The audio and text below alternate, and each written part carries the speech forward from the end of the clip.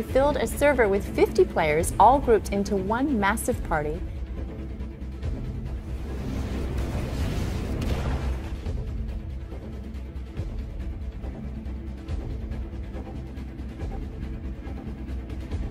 Hello, Skynet.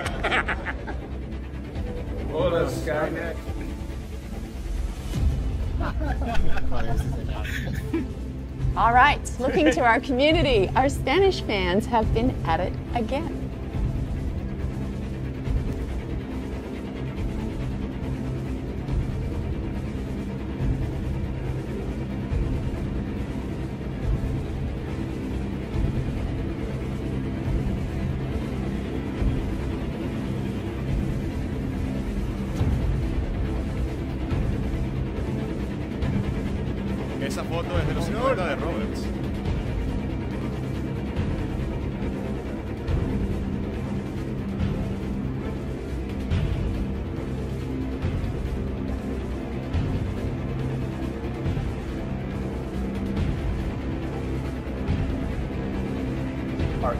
Awesome Spanish community got together for their recurring event series, Los Cincuenta.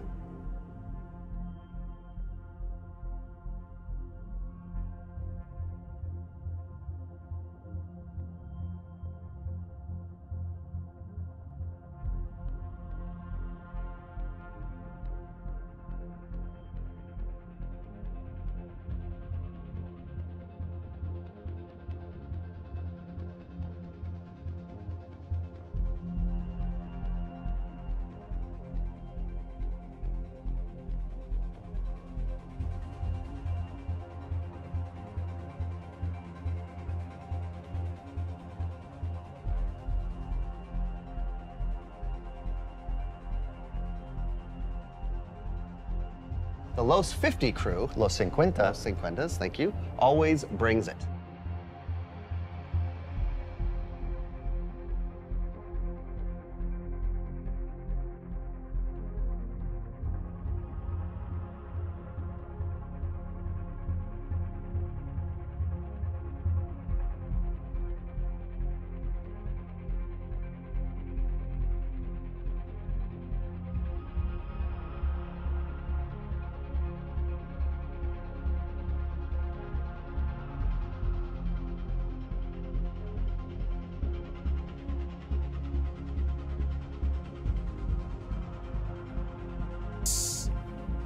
Muy buenas a todo el mundo. Bienvenidos.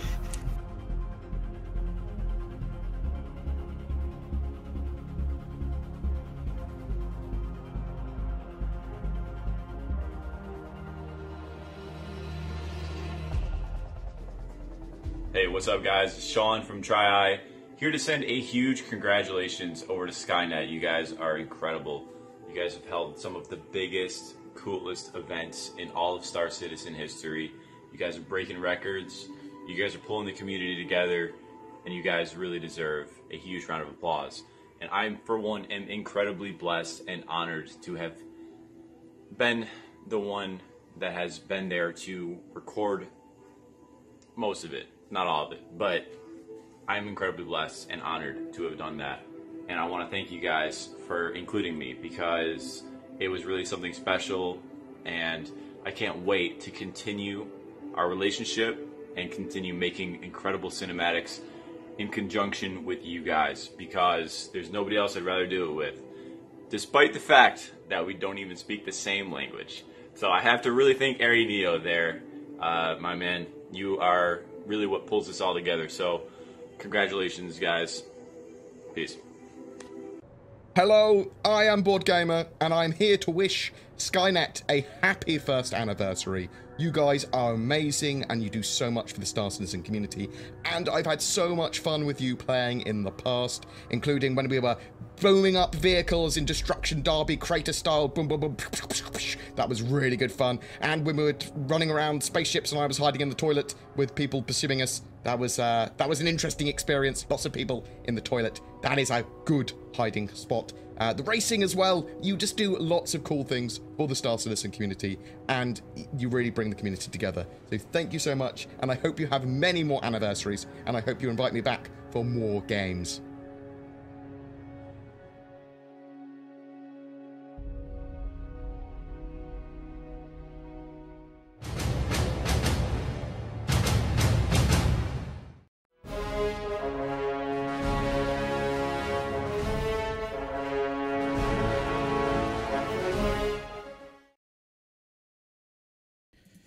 A ver, aquí, muy buenas, bienvenidos todos. Podcast número 13 de Skynet. Bienvenidos. Wow. Muy buenas. Este, Muy no, sé si, buenas. no sé si llamar Buenas. esto, no sé si llamar esto temporada 2 o, o de Skynet, no sé cómo vamos a llamar a esto, pero de verdad que ese video todavía sigue pegando, aunque lo hemos visto ya varias veces. Eh, Sí, tuvimos el primer aniversario de Skynet el podcast pasado. Eh, la verdad que ha sido todo muy especial este, este camino, ¿no? Que hemos empezado desde hace ya, ¿qué? Un poco más de un año. Y la verdad que qué manera mejor de celebrar y de comenzar este segundo año de Skynet que con un gran invitado especial. Tenemos al gran Snake Eyes de órbita prohibida aquí con nosotros. Así que Snake. Eyes, bienvenido, ¿cómo Bienvenido. estás? Muchas gracias. ¿Cómo estáis todos Bienvenido. vosotros? Muchas gracias. Yo, mira, tenía muchas ganas de este podcast. Llevamos eh, trameándolo ya un mes y medio, dos meses, desde que conocí en persona a Snake Edger. Bueno, miento, le conocí en el bar Citizen, que hicimos Sí. para la CitizenCon del año pasado. Ahí lo conocí. Y ahí empezamos ya a tramear algo, pero recientemente tuvimos una quedada entre él y yo para otros temas. Y. cervezas. Sí, sí, con cervezas de por medio y empezamos ya lo que es a, tramear. Hostia, si hacemos un podcast y tal, no sé. Así que aquí estamos y me alegro mucho de tenerle hoy aquí, porque lo que vamos a desentrañar y a profundizar en, en muchas cosas, pero sobre todo en lo que viene siendo el sistema de vuelo de Star Citizen, es genial. Así es, la verdad que muy agradecidos por la compañía de todos ustedes ahí en el chat. Eh, bueno, hay que saludar a todos ustedes, de verdad que siempre, siempre han estado ahí de, de- manera regular, eh, pendientes eh, de, estos podcasts. Si ustedes no estuviesen ahí, esto no tiene ningún, ningún sentido, la verdad. Así que bueno, de verdad muy contentos. Hoy tenemos muchos temas interesantes de qué conversar. Obviamente tenemos a Bissell Red, a Citizen Tech, a La Parca y yo, el host de este día, Arineo. ¿Cómo están todos? No vamos a ahondar mucho en quiénes somos y todo eso. Yo creo que ya vamos a empezar a pasar página de, ese tipo de cosas. Lo importante es a lo que ustedes vienen acá, que es a conversar de Star Citizen.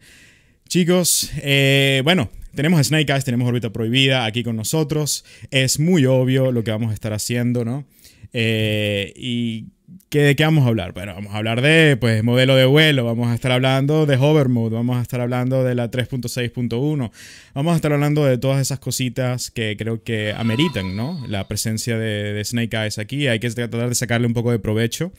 Eh, es un tío que, que sabe bastante de lo que está hablando, que ha investigado bastante, que tiene un proyecto eh, dedicado básicamente a toda esta historia de los simuladores espaciales. Snake Eyes, cuéntanos, ¿de qué, qué es órbita prohibida? ¿De qué, de qué Ah, se pues trata mira. todo este tema? Qué curioso. Eh, órbita Prohibida nació originalmente porque mi compañero en órbita prohibida, Macker, eh, me vino un día después de haberlo metido yo en Star Citizen, pues en 2013, y me dijo, oye, no encuentro nada en español para meterme yo dentro del rollo de Star Citizen y tal, pero más desde el punto de vista de que me gustaría saber más sobre el lore y tal, y como está todo en inglés, ¿por qué no me lo traduces? y le dije, ah, bueno, puedo traducírtelo. Y empezamos una página web, de hecho la inició él para, catalizar un poquito el tema, y empezamos traduciendo lore de Star Citizen, ¿no? Y entonces a partir de allí pues fuimos un poquito expandiéndolo un poquito más y tal.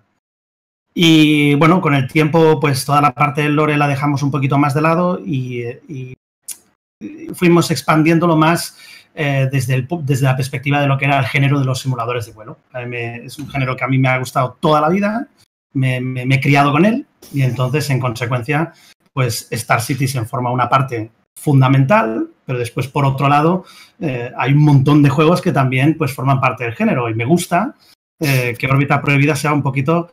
eh, nació con algo de Star Citizen, con el core de lore de Star Citizen, pero ahora el espectro es bastante más amplio, ¿no? Es hablar un poquito sobre cuál es la actualidad del, del género de simuladores espaciales, su historia desde el 74. Tenemos una serie de vídeos sobre la historia que es muy chula.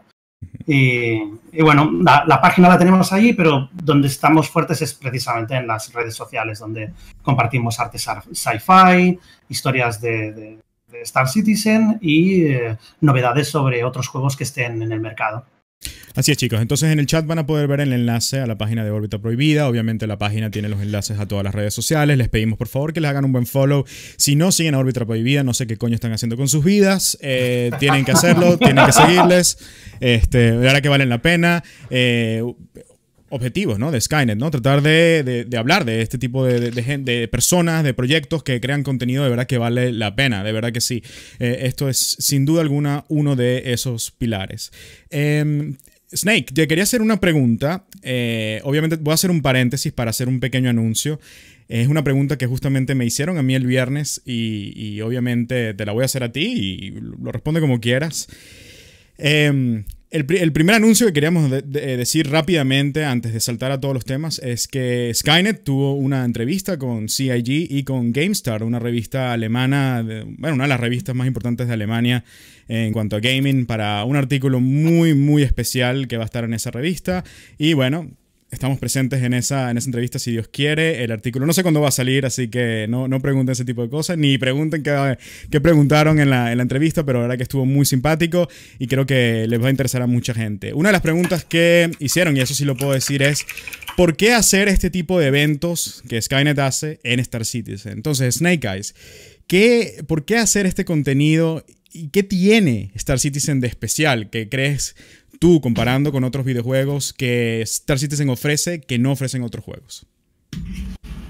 Bueno, O al revés, ¿qué le falta a Star Citizen que No, tengan pues, otros juegos? Es, es buena, es buena la pregunta porque eh, no, no hay, no hay ningún juego actualmente que sea capaz de eh, abarcar el espectro de, de- de ideas, la masificación de ideas y de propuestas que tiene Star Citizen dentro de lo que quiere ser como juego. Es un proyecto único. Es un proyecto eh, que es un récord Guinness mundial. Es un proyecto que es una ilusión de muchísima gente.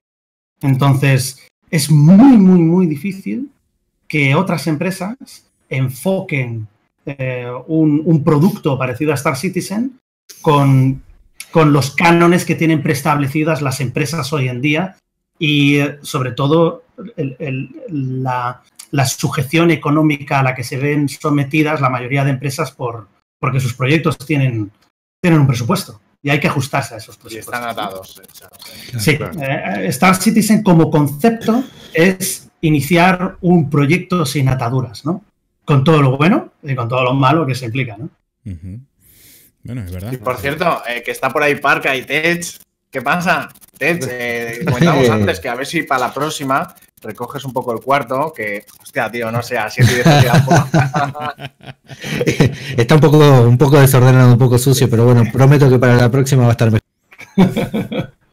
hay, que, hay que darle dinero para que contrate los NPCs. Eh, ¿Se me escucha bien? Me dicen que se me escucha ruido. Tienes un Hay, ruidito. hay un pelín de ruido. Sí. Sí. ¿Mejor ahora? Hola, Ventilador. hola, hola. No, te Es sigue. una pequeña distorsión, ¿no? Sí, es una pequeña distorsión. Si no, me pongo esto, seguimos, me pongo esto. A ver. Yo si queréis que me suba el volumen yo del... Súbetelo un poquito. Yo te lo subí al máximo acá, pero creo que está un poquito. Creo que puedo hacer alguna cosilla yo al respecto. Vale, yo lo subí al máximo en Discord, sí.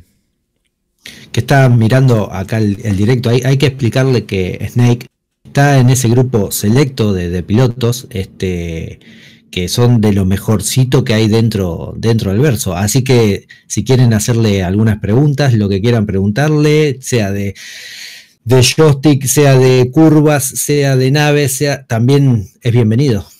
Son bienvenidas Soy- todas las soy- preguntas. Controlador agnóstico. No tengo preferencias. Aunque no voy a decir con qué juego más. ¿Se me escucha bien ahora? Hola, hola, hola. Sí, perfecto. Vale, genial. Sí, ahí está perfecto. Ahora que está perfecto. Vale, la mierda de micro, este al final es el que vale, ¿sabes? Oye, pero se te escucha como si estuviésemos jugando dentro del juego con el, con el efecto ese. Está simpático. De radio. está bueno. Está muy bueno. Dices, Snake, que no nos vas a desvelar con qué juegas o, o qué aparatos usas para pilotar. No, yo puedo, puedo desvelarlo. Bueno, de momento Yo- veo una caja ahí detrás tuyo. Que eso es mi- por lo menos esa, ya. esa es mi última adquisición. Ah. Fue un regalo de cumpleaños, de hecho. Yo no quería. ¿no? Sí, son los, son los eh, pedales eh, de, de Logitech. Entonces, con- como juego con un X56, bueno, tenía, un T- tenía to- dos T16000 llegó este X56 bonito y además puedo cambiarle los colores, ¿sabes? Es Ah, como, oh. Y entonces, claro, para ir, o sea, por los colores, el diseño y tal, esos pedales son los que van mejor. Por cierto, yo, yo, yo tengo unos Trustmaster, los 16.000 estos, que... La verdad, Maravillosos. Sí, pero ya me doy cuenta que a veces uno se empieza a, a- a dar cuenta que verdad que necesita unas cositas un poquito mejores, ese tipo de... No sé, uno le encuentra detalles, ¿no? Y justamente hay, hay un sorteo por ahí de, de Game Glass, yo no tengo nada que ver con eso, pero hay un sorteo ahí en la página web de ellos que justamente están sorteando unos, unos joysticks X56 de esos que... Y dije, ay, ojalá. Yo nunca gano nada. Yo quisiera ganar algo algún día, pero nunca gano un O sea, coño. sobre lo que estás comentando, Neo, hay un. Nosotros en el Discord, en Eleventh, tenemos un canal eh, que se llama Cockpit Porn, se llama, ¿no? Y entonces en ese, en ese canal todo el mundo habla sobre sus proyectos a nivel de controladores y tal. Y hay un concepto que es el del Franking Throttle. No sé, no sé si lo habéis oído hablar. No, que no. es la gente que se hace la palanca, la palanca de gases. Entre las piernas. No, no, no, se la, se la ponen al lado, pero como no les gusta la palanca que viene por defecto en la mayoría de joysticks, como por ejemplo en el kit que viene con el de Thrustmaster, pues lo que hacen es desmontarlo y hay gente que pone de todo. He visto, eh, como los llaman Frank, de Frankenstein, Franken Throttle, lo llaman, ¿no? Y, y- y entonces he visto controladores de Xbox en la palanca de gases. Para que ¿En os hagáis una idea de la cantidad de botones. Sí, sí, porque así tienen mini joysticks. o sea, hay barbaridades y te explican ellos cómo lo van haciendo. Es un canal que no, tiene desperdicio. Yo sí, Oye, Hostia, qué si puedo interesante. Yo tengo que entrar a ver eso. Yo tengo que entrar a ver eso Sí, porque. sí. O sea, yo- os daré una invitación porque tenéis que ver las fotos que son. Hola, yo quiero, yo quiero verlo, qué interesante. O sea, yo soy muy Snake, pijo, ¿no? Yo compro y ya está, pero es que ellos lo hacen. Snake, cuenta- cuéntanos algo, ya que como eres pi- piloto reconocido de- del, del verso también y me imagino que, que estarán involucrados eh, con darle mucho feedback también a, a Cloud Imperium o en algún momento lo habrán hecho, yo me imagino. Este, cuéntanos cómo ha sido esa experiencia, ¿no? ¿Cómo comenzaron a tomarse en serio el tema de, de volar en el juego de manera un poco más hardcore que, que otro, que el, que el resto de la gente común? Bueno, hace, hace tiempo, hace tiempo, eh, digamos que 2014-2015, cuando, ah, cuando Arena Commander tenía pues su mayor cantidad de jugadores, creo que 2014-2015 es el, el mayor número de jugadores que yo he visto en Arena Commander, ¿no? Solo hay que mirar los leaderboards, ¿no? En lo que se refiere a actividad constante en los servidores, encontrar siempre gente con la que jugar, etcétera, etcétera, ¿no? Allí es donde nosotros empezamos a distanciarnos un poco porque, claro, veíamos que Arena Commander era muy político, es decir, tenía unas normas de puntuación, unas... Entonces nosotros queríamos un poquito más, queríamos eh, encontrar una manera donde pudiéramos jugar en equipo eh, de forma eficiente y de forma que pudiéramos trasladar toda esa parte de tácticas y todo, que, que era pues, pues nuestra, nuestro erotismo nocturno, ¿no? Eh, al, al PU posteriormente. Entonces, nos íbamos todos a Free Flight. Así nació el, entrenamiento en Free Flight, porque era un sitio donde la gente no te molestaba. Entrabas con un conjunto de gente, te montabas tu partida y ahí estaba la gente haciendo uno contra uno, dos contra dos, tres contra tres constantemente. Allí, claro, el foco de atención es tan concreto que, que, claro, que nuestra cantidad de feedback era explosiva, porque teníamos, pues, pues claro, gente jugando cada día, muchas personas, eh, y probando cosas muy específicas de mecánica de vuelo, eh, cómo estaba funcionando ESP, eh, qué diferencias había entre una versión y otra, eh, qué diferencias había entre naves, etcétera, ¿no? Y a partir de allí empezaron a crearse grupos en los, que, en los cuales todo ese feedback llevaba, llegaba pues, a personas de Cloud Imperium Games que pululaban posteriormente ya por los discords buscando eh, feedback específico, ¿no? Y ahí nacieron pues los grupos un poco de focus, varias, pers- varios equipos tenían grupos de focus donde podían dar ese feedback directamente. Y la cosa se aceleró muchísimo cuando entró, eh, cuando vimos que ya entró John Pritchett y, y empezamos a ver que la gente de Manchester, que en ese momento estaban muy centrados en la parte de desarrollo del modelo de vuelo, pues empezaron a pedir feedback ya de, de- de temas exclusivos relacionados con el vuelo.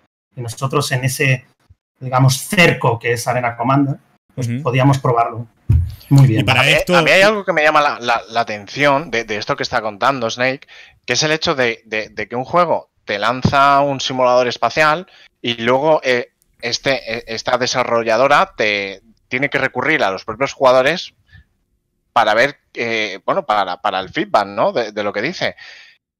O sea, que realmente, eh, yo supongo que obviamente lo tienen que probar y demás, pero no lo prueban tan a fondo como realmente yo yo espero de una desarrolladora. Y es lo que te digo, que recurren a los propios jugadores. A mí eso es lo que más me llama la atención de lo que estás contando. Claro, recuerda que tú tienes un departamento, ¿verdad? Y, y, como Snake está diciendo, ¿no? Comenzaron en el 2014-2015, ¿verdad? Y tienen un departamento de QA, de, de pruebas, ¿verdad? Y ese departamento era relativamente minúsculo o ínfimo eh, en esa época, ¿me entiendes? Fíjate que todavía siguen contratando, si entran a la página de Cloud Imperium Games, hay, hay una cantidad de, de, de puestos todavía de, de QA para, para, pruebas, pero cuando tú tienes una comunidad hardcore que se decanta por probar algo específico, pues obviamente recurren a eso, es mano de obra gratis Mm. también, ¿no? Vamos a decirlo de esa manera. Sí, y, sí, y, sí. y, entendible también. Eh, y suelen ser mucho más eficientes que inclusive la gente que tienen contratada, eh, pero es que es lógico. Es que es muy, es muy lógico. Snake, entonces, obviamente comienzan en el 2014-2015, ¿verdad? Esto me imagino que era más o menos la primera iteración del IFSS, más o menos, o era la segunda ya. Ah, pues eh, bueno, que yo tenga, que yo tenga constancia. Eh, hay, bueno, hay dos documentos que hacen referencia a esto. Uno estaba hecho pues, por John Pritchett uh -huh. y, y, e IFCS 1.0 es desde Arena Commander 0.8, que fue la primera iteración de Arena Commander eh, que salió en el famoso live stream donde todo se estaba colgando, pero bueno, se vieron naves volando, ¿no? Uh -huh. y, y, y, eso duró hasta uno, creo que era la 1.1, 1.2 aproximadamente. Y después entró y eh, no, falso, es hasta la 2. hasta la 2.1, 2.2. Uh -huh. Y entonces IFCS 2.0 nació en la época donde se tuvieron que añadir muchas mecánicas adicionales porque en la 2.0 apareció el Persistent Universe, ¿no? Y uh, con el universo persistente ya eh, disponible para que los jugadores pues, pudieran pues, volar libremente a través de él, pues el IFC se tuvo que adaptarse para eh, pues, introducir muchas mejoras. El cambio más bestia de IFCS, es decir, del interpretador de comandos de todos nuestros inputs, para que todos esos inputs puedan trasladarse al juego en sí, pues, pues sufrió su mayor número de cambios de la 1.0 a la 2. De la 1. Y la 2.0 de la 1.0 a la 2.0. Vale. Desde Arena Commander 0.8 a eh, Star Citizen Alpha 2.1, podríamos decir, aproximadamente. Para, y después, para, a partir de allí, sí. Para, para hablar dime, un poco dime, dime. En, en, perspectiva, ¿no? Para colocar esa información que estás dando en perspectiva, ¿cuántas iteraciones o generaciones del IFSS existen hasta hoy en día? Hay tres iteraciones, son tres iteraciones, y cuando se hizo la 3.5, cuando se publicó Star Citizen Alpha 3.5, apareció lo que originalmente por Chris Roberts se había anunciado como un, eh, como, como un redesarrollo de IFCS, pero que al final no fue un redesarrollo, sino que fue una refactorización. Se, se utilizó el pilar básico y a partir de ese pilar básico se fueron modificando distintas mecánicas específicas hasta crear lo que ahora podríamos llamar, porque no tiene un nombre oficial, pero podríamos llamar IFCS 3.1. Ok. Parca, y, y, bueno, comienzo por Parca o por eso, claro que no hay, no hay mucha diferencia, pero a ver, el que quiera responder primero. Eh, ¿cuándo, Parca, ¿cuándo comenzaste tú a, en Star Citizen, más o menos? Ostras. Ni me acuerdo. Pregunta, ¿eh? es, buena, es buena esta. ¿eh? Yo empezaría. Es que no me acuerdo. Tendría que ver la ficha de. 2014, 2015, más o menos. Por ahí, 2016 diría yo. No sé, 2016. tengo que mirarlo.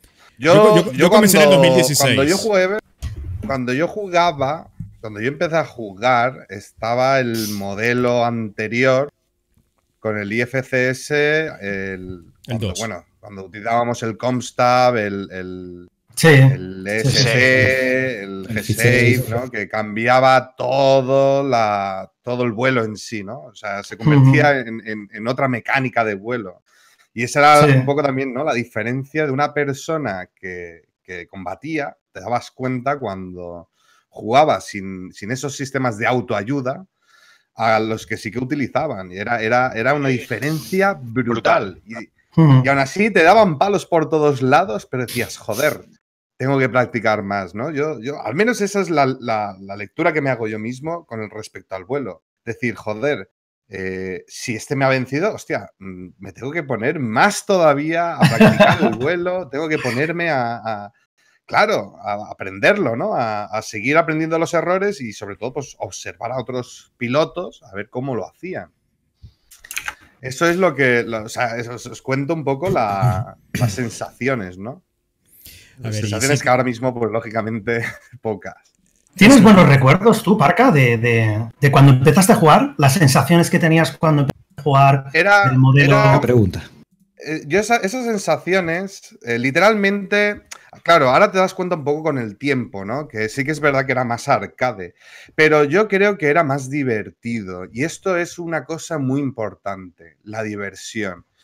Yo notaba, sí que es verdad que las naves paraban en seco, utilizábamos los trenes de aterrizaje para frenar la nave de manera brusca, para, para, estacionar, ¿eh? ¿Os acordáis todo? Eso es que todos lo habéis hecho. Sí, sí, claro. Entonces, era pero, pero, mira, dices una cosa muy importante, que es muy divertido para quién.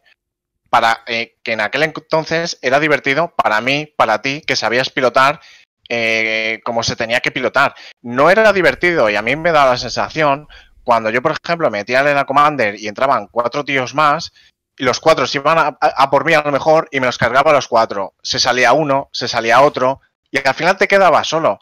Para mí era súper divertido, pero para aquella gente que no sabía pilotar o, o, no tenía ganas de tirarse horas aprendiendo, pero yo entiendo que no era divertido.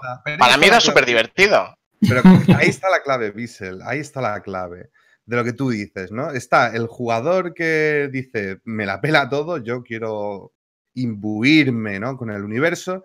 Y luego está el otro perfil del jugador, el competitivo, ¿no?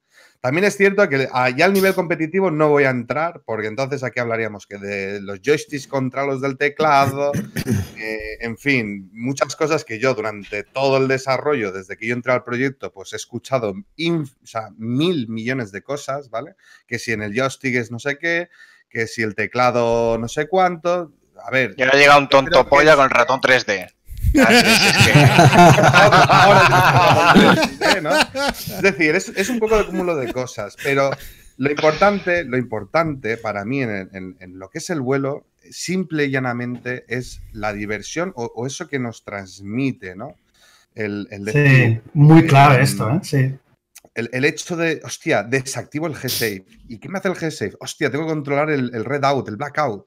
Hostia, las, las, fuerzas centrífugas, me, cuando hacíamos los famosos círculos de la muerte, sí, cómo sí, se iban sí, abriendo más y decías, me cago en la mar. Sí, ahora tengo que. No, o sea, es, es. También es verdad, era muy arcade. Pero claro, yo creo que el, el equilibrio, ¿no? Hay que equilibrar un poco de ambas cosas. Sí, cómo encontrar ese término medio, ¿no? Es, es, claro. es como nuestro, nuestra obsesión. Eh, Cloud Imperium Games, ¿cómo vais a encontrar ese equilibrio entre lo que nosotros encontramos divertido, ¿no? Y lo que otros encuentran divertido, o lo que vosotros consideráis que tiene que ser ese punto justo de simulación y ese punto justo de, de diversión. ¿no? Sí. Porque a veces la simulación eh, es, es, un catering para pocos, ¿no? La simulación hardcore, ¿no? Yo estoy convencido de que es muy bonito, ¿no? El Digital Combat Simulator, el DCS, ¿no? Pero juega muy poca gente a ese juego y es precioso. Claro. Pero, pero, es muy pero, hardcore. Pero requiere, o sea, re requiere un tiempo, requiere. Es que aquí dices una cosa muy importante, ¿vale? Y es que este, este juego no es un juego de que me pongo y en un día soy un crack. Esto es un juego en el que son tantas las informaciones que es durante un tiempo ir testeándolo y luego ir practicándolo, ¿no? Entonces, eso lo traducimos en tiempo. Es un juego de, muchas informaciones, de mucho tiempo. Si cada vez que implementen algo, ya sea el sistema de vuelo o, o la propia mecánica de los componentes y subcomponentes, si yo tengo que hacer un máster, un máster universitario para poder entender 100% mm, todo, al final es un juego que... Estás alejando, gente, estás alejando gente, ¿no? La gente abandona. O sea, uh -huh. hay que llegar que, uh -huh. que, o sea, hay que estudiar el punto de, es fácil al principio, pero si yo quiero mejorar, mmm, me tengo que poner, me tengo que poner, pero uh -huh. que no se haga tan largo, ¿no? No sea un recorrido tan largo. La clave de la curva de aprendizaje. ¿Dónde, Eh, dónde- sí. dónde coloco ese inicio de la curva de aprendizaje y cómo consigo que la persona que está invirtiendo ese tiempo, X, ¿vale? Eh, tenga una autosatisfacción de cómo está evolucionando en esa curva, ¿no? El, el- como dice Chris Roberts, ¿no? Siempre el eh, easy to access, difficult to master, ¿no? Eh, eh, que, que sea fácil llegar a él, pero que sea difícil masterizarlo, ¿no? Y ahí, bueno, yo creo que llegaremos a ese punto después. Oye, ¿y tú, Tech? ¿Qué, qué- qué sensación tenías cuando jugabas antes y cuando juegas ahora? Eh, yo llegué en el 2015 donde el imperio me reclutó, como digo siempre. Eh, bueno, años, sí, fines del 2015. Este, nada, me encantó. Yo todo me abrumó. Star Citizen me abrumó, abrumó mi vida, embargó mi vida, embargó mi vida, literal.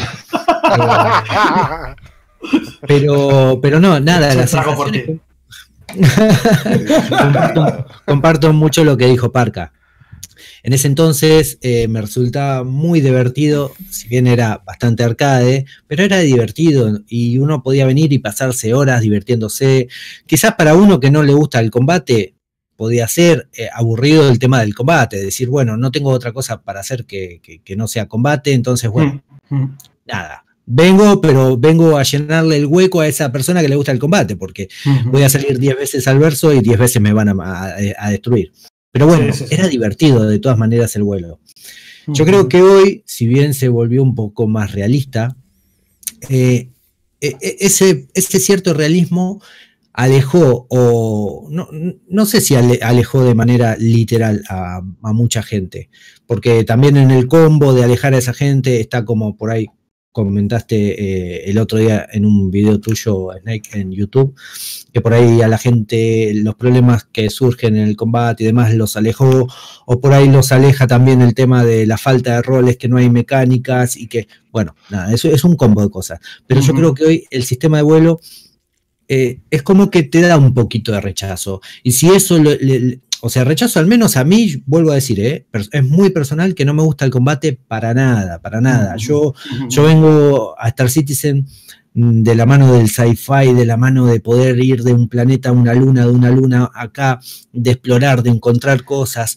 A lo que te eso. refieres es al vuelo básico, ¿no? Al, al- no al combate, el combate eh, en otro lado, ¿no? Lo que es la- el explorar lo que hay en el universo, el volar por el universo, ¿no? Claro, claro, absolutamente, pero, pero por eso, eh, en líneas generales, el vuelo pasado, eh, a- año 2015-2016, me resultaba divertido, eh, me resultaba más, más sencillo, eh, creo que a todos nos resultaba más sencillo, y es como dijo Parca, veníamos a, a- a 200 metros por segundo y, y- y apretábamos la N para bajar el tren de aterrizaje y se frenaba en seco la nave y, y nos tirábamos como el hombre araña, eh, era, era algo, digo, ¿no?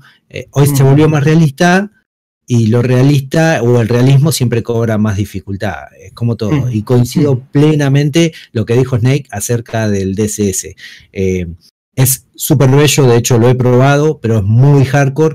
Y lo hardcore siempre, en todo aspecto de la vida, se reduce a un público muy, muy pequeño. Eh, y Hmm. bueno, ojalá Star Citizen nunca llegue a ese punto.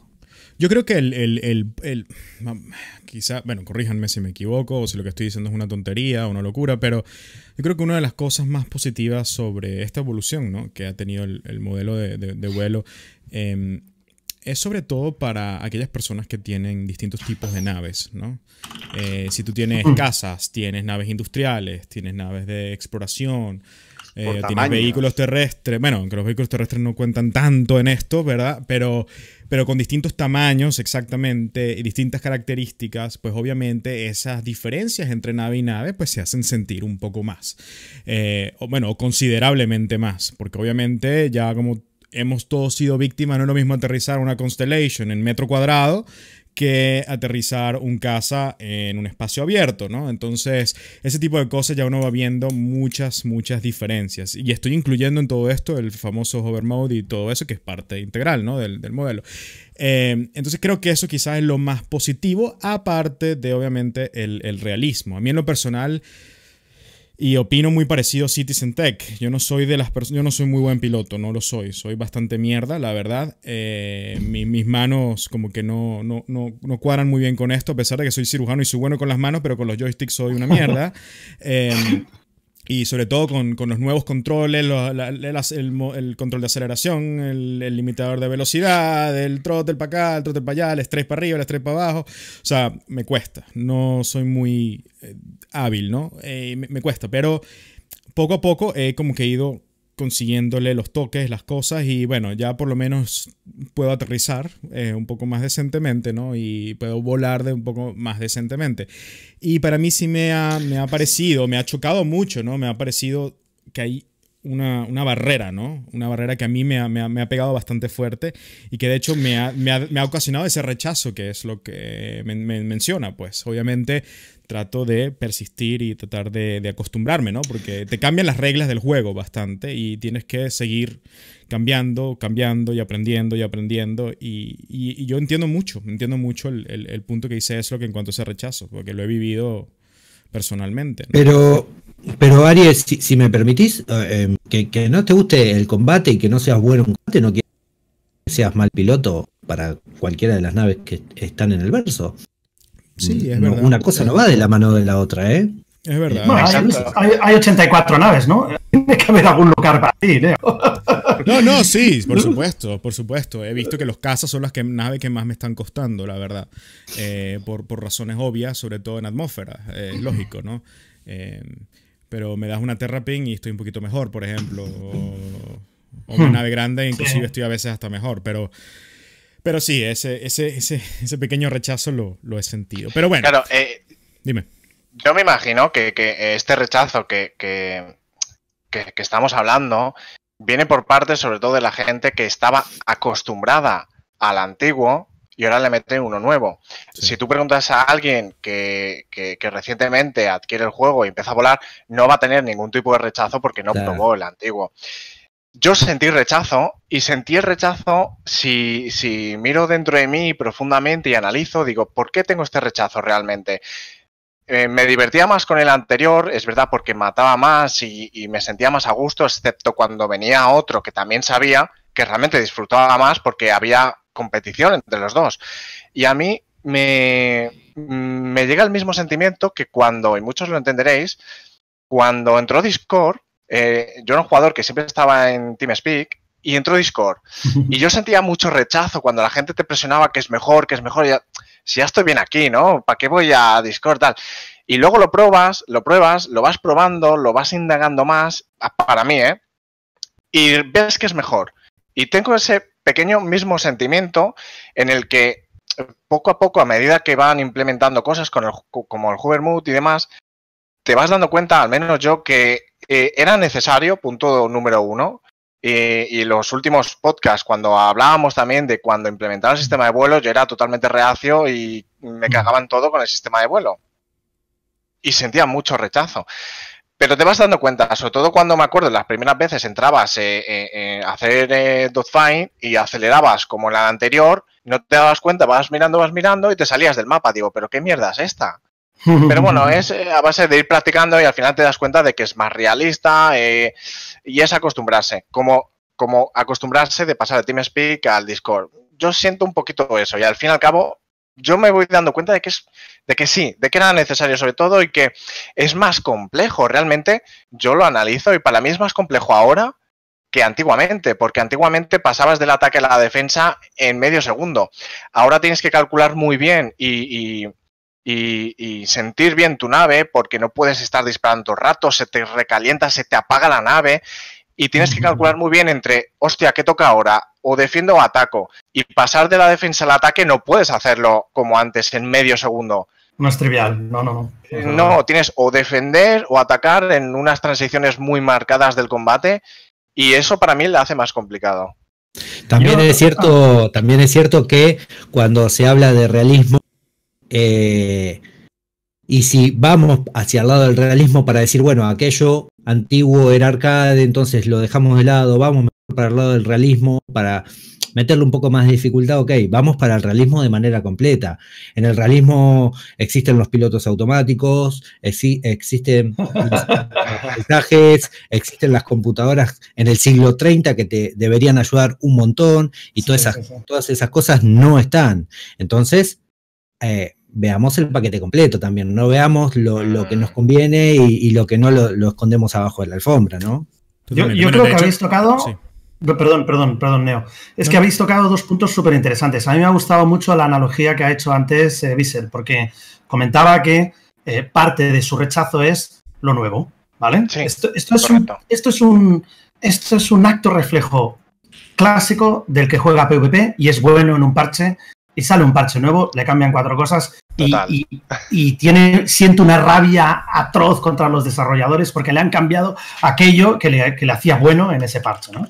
Yo recuerdo cuando salió la 1.3, la 1.3 de Star Citizen introdujo eh, masa e inercia por primera vez dentro de, dentro de Arena Commander. Recuerdo que Arena Commander era, era, era tan eléctrico, eh, eh, todas las reacciones y todos los inputs tenían una respuesta tan inmediata que evidentemente era, era súper arcade. Entonces, la introducción de la masa y de la inercia, pensé, ¿pero qué bestialidad es esto? Porque, eh, es que iba a decir soltar improperios, pero me estoy controlando.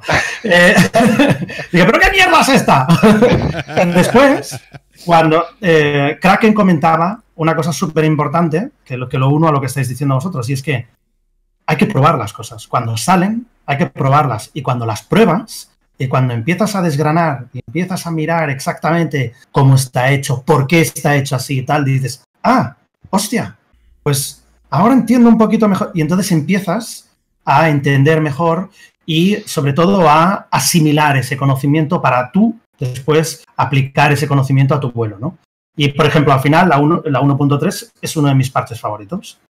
¿Por qué? Porque a pesar de mi rechazo inicial, pues, pues encontré la manera de eh, entender el porqué. Y, y así sucesivamente. ¿eh? La 2.2 fue horrorosa para mí. Después entendí un poquito mejor. 2.4, 2.5.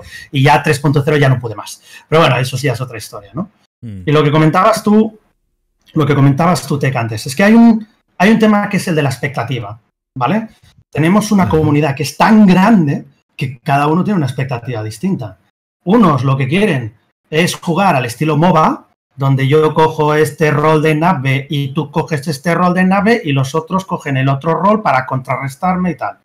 Hay otras personas que lo que quieren es pura habilidad, coger el mouse y rápidamente pa, pa, pa, pa, me cargo 4 o 5 con mis gimbal y ¡oh, soy el mejor! ¿Vale? Y hay otros que lo que quieren es eh, Rogue System, ¿no? Que es el Digital Combat Simulator, pero en simulador espacial, ¿no? Y claro, son visiones eh, que, que son, pues, claro, son muy distintas, ¿no? Y entonces, ¿cómo, ¿cómo llegamos a lo que comentábamos antes? Ese maldito término medio, ¿no? Entonces tienen una visión desde Cloud, Cloud Imperium Games, pero la nuestra es la que se queja en los foros, ¿no? De hecho, hay, hay, hay unos comentarios bastante buenos que estaba leyendo ahorita en el chat. Jugón Vision dice: Hace falta un sistema de vuelo no tan profesional como el DCS, pero sí tomándolo como referencia. Después, eh, Kitsune Echo dice: Si los jugadores no se divierten, por muy realista que sea, no se jugará. Disculpen, ¿verdad? Sí, Y aquí dicen. eh, a mí es que vuelo realista y naves espaciales me sigue sin sonar bien. Si estamos en ciencia ficción, aprovechemos para hacerlo divertido. Bueno, eso es un punto de Lo vista. válido. Sí, es un punto de vista bastante válido. Eh, en el futuro y es fantasía, ¿no? Muchas cosas también pudieran llegar a, a tocar la fantasía, eh, quién sabe, ¿no? Eh, a ver, había otra cosa aquí. Hay que abrirse a una visión de pilotaje futurista. Si quieres un fighter en el espacio, para eso, jugar un fighter de aviones. Esto es el futuro y no puede ser. Ok. Coincido ver, plenamente. Respecto a lo que habéis dicho, ¿vale? Llamarme loco o llamarme visionario. Yo, mm, visto, o sea, visto el sistema anterior de vuelo y visto este nuevo modelo actual, ¿vale? Yo lo que haría sería esto. Ras. Subir un Mm. poquito lo de abajo y bajar lo que hay ahora. Mm. La Ok. deriva, la deriva es muy radical, muy radical, se van las naves. Entonces, entonces, ok, vamos, vamos a retomar, vamos a echarnos un poquito para atrás, ¿verdad? Y vamos a hablar ahora específicamente, Snake. Dinos en, en tus propias palabras o de lo que tú entiendes, ¿ok? ¿Qué es lo que caracteriza principalmente el modelo actual? Muy bien. El modelo. Voy a, voy a hacer referencia. Yo tengo que hacer alusión de las cosas que se dijeron en la pasada CitizenCon. Porque para mí, pues lo, lo he utilizado mucho en mis vídeos. Claro. Porque claro, creo que son. Creo, creo que es un poco el drive, ¿no? ¿Cuál es el objetivo de Cloud Imperium Games? Primero separo dos cosas, ¿vale? Uno es el objetivo de lo que se quiere conseguir a nivel de la capacidad que tiene el modelo de vuelo, ¿vale? Insisto mucho en este concepto. Star Citizen es una pseudo simulación sobre un motor de cálculo de físicas que es el más moderno que hay en el mundo de los videojuegos o uno de los más, pero yo creo que es el más. ¿Qué significa esto? Que pseudo simulación significa que no es una simulación exacta, es lo que comenta mucha gente. Ah, yo quiero más arcade, yo quiero tal, pero lo que tenemos actualmente es una mezcla. Una mezcla entre simulación y una mezcla entre elementos arcade. Que por debajo, por debajo tiene un sistema de cálculo físico espectacular. Espectacular, que es capaz de calcularte tipo de atmósfera, gravedad, tipo de terreno, distancia con el terreno, si estoy cerca de un planeta, si no estoy cerca de un planeta, en el espacio. O sea, ¿qué juego hace esto hoy en día? Bueno, pues entonces, partiendo de esa premisa, una de las cosas que buscaban con el modelo de vuelo es una clara manera de poder diferenciar fácilmente, crear una estructura base con la que diferenciar claramente los distintos roles de naves y sobre todo los distintos tipos de naves para lo que se van a usar. Entonces, creo que en ese aspecto la parte técnica ha evolucionado, ha evolucionado muchísimo en los últimos años, ¿vale? Sobre todo en el último año y medio ha habido mucha evolución en este aspecto. Sí. Pero de- después está el tema de qué sensación tenemos nosotros, ¿no? Estaba también el tema de mm, conseguir mecánicas que fueran o que sean más reflexivas, eh, que sean más lentas, que no sean tan espásmicas. eh, eh, todo eso está relacionado con el combate íntimamente, pero también está relacionado con la forma de volar en cualquier tipo de escenario en el que nosotros nos encontramos. Entonces hay una parte que es muy importante que tenemos que tener en cuenta, que es que el IFC se sigue evolucionando como, como corazón de todo lo que nosotros queremos en ese mundo de simulación. ¿De acuerdo? Y, y- y es capaz de hacer muchísimas cosas que aún no están implementadas en el juego. Con lo que, claro, poder evaluar tangiblemente hasta dónde hemos llegado actualmente en la 361 es difícil porque no tenemos elementos atmosféricos que condicionen o que nos empujen la nave por a la hora de aterrizar en un terreno, ¿no? Entonces, eso, eso es eh, todavía, claro, pero para eso tenían que tener pues eh, eh, hover mode y motores VTOL eh, en línea me- como mecánica de juego para que puedan irse introduciendo a posteriori todos estos elementos. Con lo que eh, el objetivo de Cloud Imperium Games está claro, ¿no? Es uno es mejorar técnicamente la base que nosotros la base técnica que nosotros tenemos para poder jugar, lo cual está sucediendo. Pero después la otra cosa es qué sensación se están llevando los jugadores y los distintos tipos de jugadores ante lo que estamos obteniendo en el mundo del combate, que directamente afecta al mundo PvP, en el mundo, en el mundo PvE, que directamente afecta a aquellas personas que quieren hacer un montón de misiones de las que podemos hacer en el PU ahora, de, de- de surveillance, de, de- de- de- de busca y caza y captura de, los malos, de machacar piratas, etcétera, ¿no? Entonces, sí, tractores. Sí, A ver, a ver todo Cuando eso. quieras abordar una nave, ya veremos. Ok, Claro. entonces, en, en- Entonces- en- en- en- en resumidas cuentas, ¿verdad? Me, me- me gustaría para, para informar, ¿no? Aquellos que quizás están eh, viendo el podcast y no están, vamos a decir, bañados, ¿no? En, en las características que diferencian, ¿no? La última iteración que existe del modelo de vuelo con la anterior. ¿verdad? Obviamente, una de las cosas principales es el hover mode, obviamente, que no lo teníamos antes. O bueno, lo teníamos antes, bueno, no, fue implementado recién, aunque el modelo, la última iteración fue implementada un poco antes. Pero aparte del hover mode, ¿qué otras características crees que caracterizan, valga la redundancia, la última iteración, esta última versión que tenemos ahorita? Bueno, ah, claro, para mí, eh, aquí entramos en el terreno de la crítica. Entre 3.5 y 3.6, para mí Sí. no ha habido una evolución sustancial o al menos perceptible en lo que yo busco, que es en estos últimos, digamos que en cada trimestre tenemos que tener un parche nuevo, más o menos, en trimestre, cuatrimestre, ¿no? Eh, salvando las distancias de lo que son las fechas en las que se compromete Cloud Imperium Games.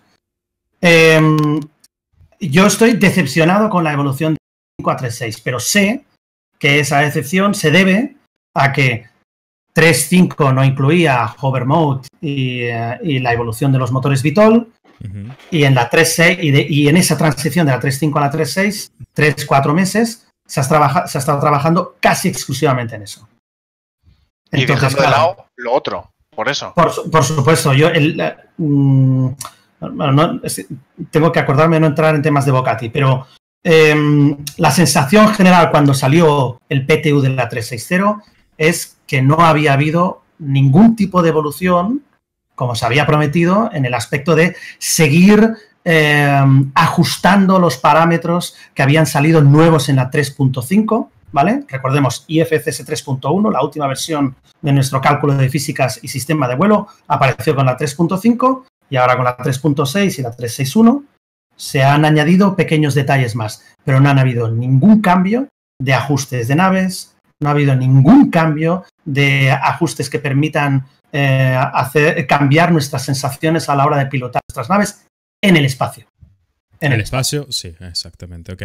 Citizen Tech. em, si tú tuvieses que hacer algún cambio, algo que te gustaría, no importa en qué orden ni nada en cuanto al, a la- al estado actual, no del juego, del, del modelo de vuelo como tal, de la manera en que vuelas. ¿Qué te gustaría cambiar ahorita? ¿O ¿Qué te gustaría agregar o qué te gustaría quitar, por ejemplo? Sin, Bueno, sin ningún orden Eh, eh, es específico. buena sí, es buena la pregunta y me agarras desprevenido. Primero que se me viene a la cabeza es lo que siempre digo. Es que, y sigo hablando de- de- del futurismo, ¿no? Sí. Sigo hablando del siglo 30. eh, que por cierto, eh, un saludo ahí a Scrowny que lo he leído en el chat y que siempre me corrige. Es el siglo 30. Bueno, Scrowny, siglo 30, gracias. Eh, sí, sí, porque te- tengo e- e- ese, ese error que digo el siglo 29 y él me manda por Telegram, me dice, no, es el siglo 30. Bueno, ahí está.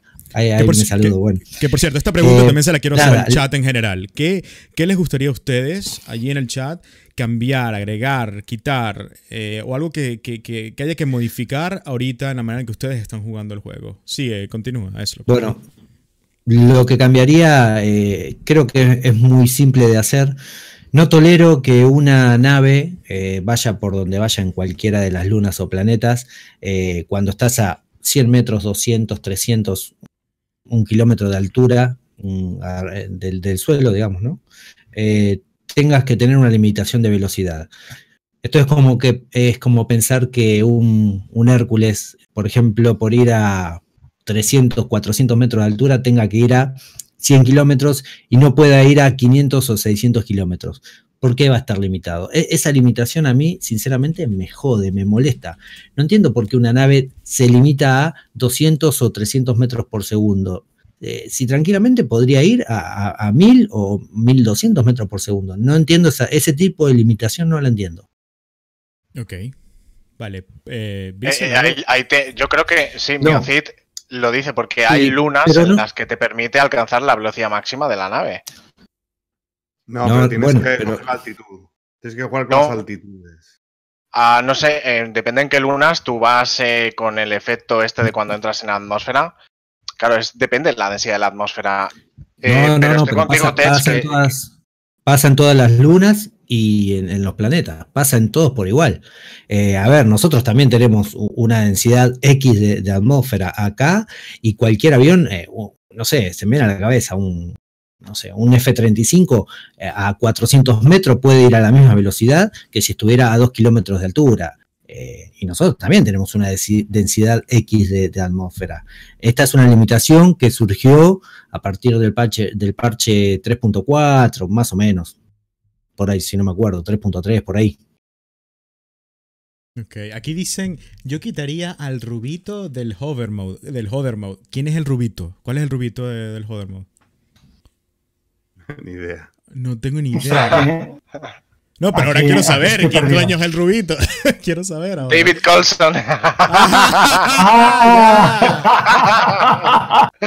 Al becario que lo llamaban. No sé si lo sabéis vosotros esto. No, no, no, no. Bueno, entró- bueno, él era, él era junior. Cuenta, cuenta la historia. A mí me la contaste, sí, cuéntala. Bueno, él, él era el junior. eh, Entonces, claro, eh, David, eh, a- muchos, muchos lo llamaban, a- pero amigablemente lo llamaban como el becario, ¿no? Porque cada vez que habían eh, detalles relacionados con eh, el...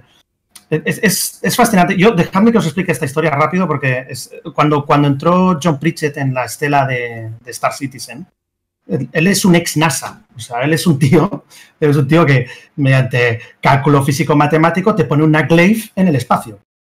Entonces, claro, este tío eh, pues es subcontratado por Cloud Imperium Games para crear eh, el motor de física del juego y bueno, él de forma externa pues lo, lo creó, eh, no, no era programador, con lo que lo que tenía era un equipo de programación con él, con el que él pues iba desarrollando y tal, y entonces eh, hizo realidad una parte eh, de lo que era el, sueño de Chris Roberts, ¿no? Y es, Chris Roberts lo que quería era, yo tengo mi idea de lo que yo quiero, ¿no? Yo quiero eh, la primera, la segunda guerra mundial en el espacio y tal. Si hemos visto la película de Wing Commander, pues más o menos yo siempre utilizo esa, esa analogía, ¿no? E- e- Ese estilo de combate y tal es lo que yo creo que él quería implementar o la idea que él tenía de implementación dentro de la, la visión que tenía Star Citizen, Y John Pritchett creó una base física hiper, hiper, hiper realista, ¿vale?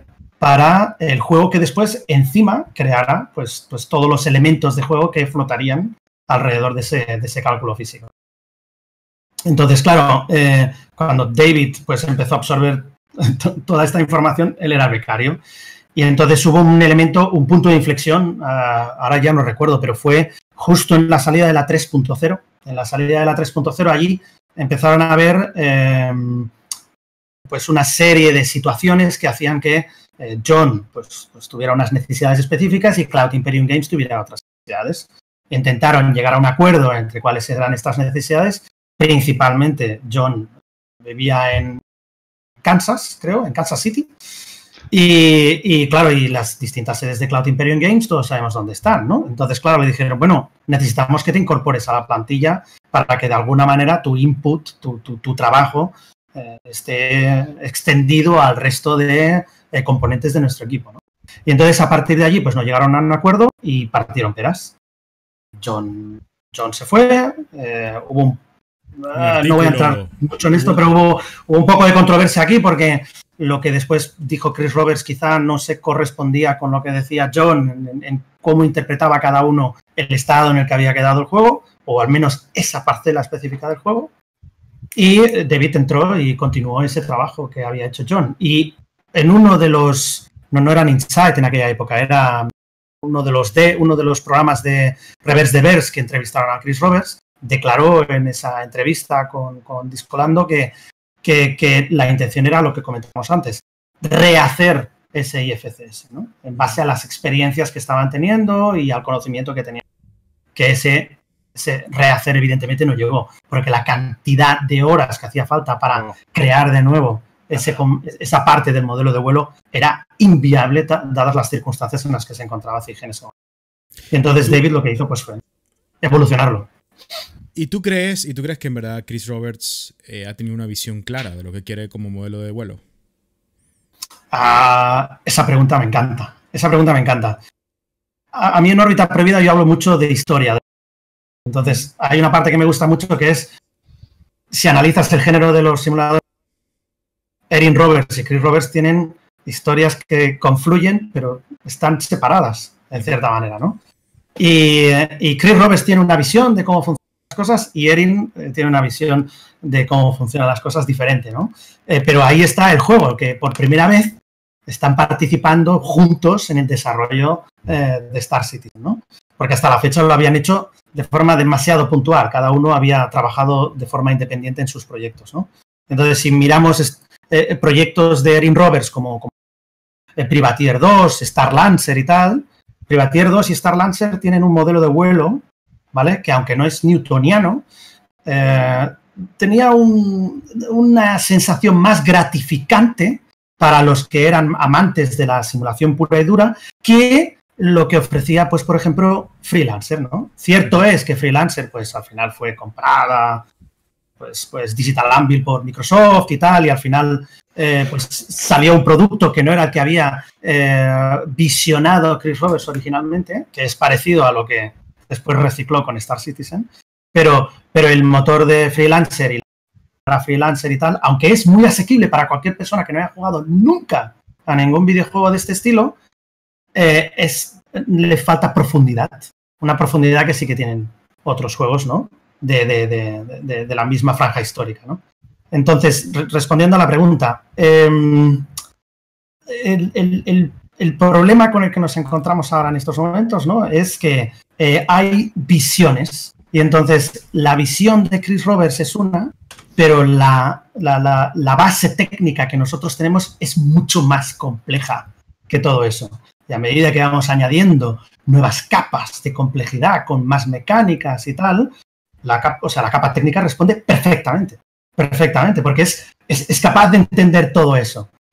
Otra cosa es la, nuestra percepción.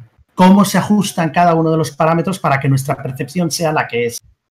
¿Vale? No sé si más o menos respondo un poco. No, no, sí, totalmente. Obviamente, obviamente la pregunta no es para hacerte decir si, que, si tú sabes lo que piensa o no Chris Roberts. Obviamente no, porque tú no. Que me moje.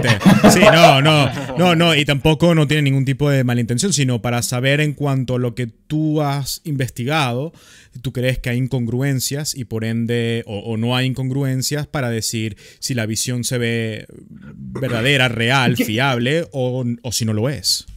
Hay mucha gente detrás de esto, ¿vale? O sea en el último vídeo intenté explicarlo, ¿no? Es que hay muchos grupos detrás de esto. Está el de diseño técnico, el de diseño de mecanismos técnicos, está el de diseño de las naves, ¿eh? está el Quality and Assurance, ¿no? Que decías antes, cuya, que tiene que ver que si todo lo que han hecho los demás es bien o está y, y tiene mucho curro, porque mm. todo el mundo va metiendo cosas nuevas, ¿sabes? Uh -huh. Parámetros nuevos, eh, elementos nuevos, eh, mecánicas nuevas. Entonces, claro, toda esa gente, que, que evidentemente cada vez necesitan a más gente, eh, tiene que hacer un trabajo que al final eh, es casi como eh, ¿qué habéis hecho? ¿no? No, quiero que se me malinterprete. Evidentemente que hacen, pero no pueden hacer el trabajo que sí pueden hacer un grupo de vocatis centrados en cada uno de esos aspectos del juego, porque es mucha más gente, porque es un espectro más amplio de gente y, el feedback eh, puede fluir mucho más. ¿no? Sobre lo que decías antes, yo no creo que, que el tema sea Chris Roberts. Yo creo que Chris Roberts históricamente no tiene, no tiene una experiencia sólida o, o, o, o, mostrada en hacer modelos de vuelo que sean satisfactorios dentro del mundo de la simulación. ¿Vale?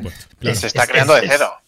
Eh, claro, o sea, bueno, a ver, o sea, si tú miras Wing Commander, Wing Commander es si tú miras Freelancer, Freelancer es arcade. Eh, muchos de estos juegos no tenían un modelo de vuelo. Un modelo de vuelo existe desde hace Mm, o sea, no, se podía crear en, los años 90. Eh, bueno, eso es falso. Sí, sí que se podía crear, pero no de la manera y con el nivel de detalle con el que se puede crear ahora. ¿Vale? Entonces, claro, a nivel de experiencia, nada me dice que Chris Roberts tiene una idea clara de lo que quiere. Tiene sensaciones. ¿Vale? Y después hay un montonazo de gente en distintos departamentos que, en base a esa sensación, tienen que ir creando su parte dentro del juego. Y cuando las mezclas todas, para mí hay eh, momentos incongruentes. Había un chico en el chat que ha dicho antes, no hay que sacar conclusiones precipitadas.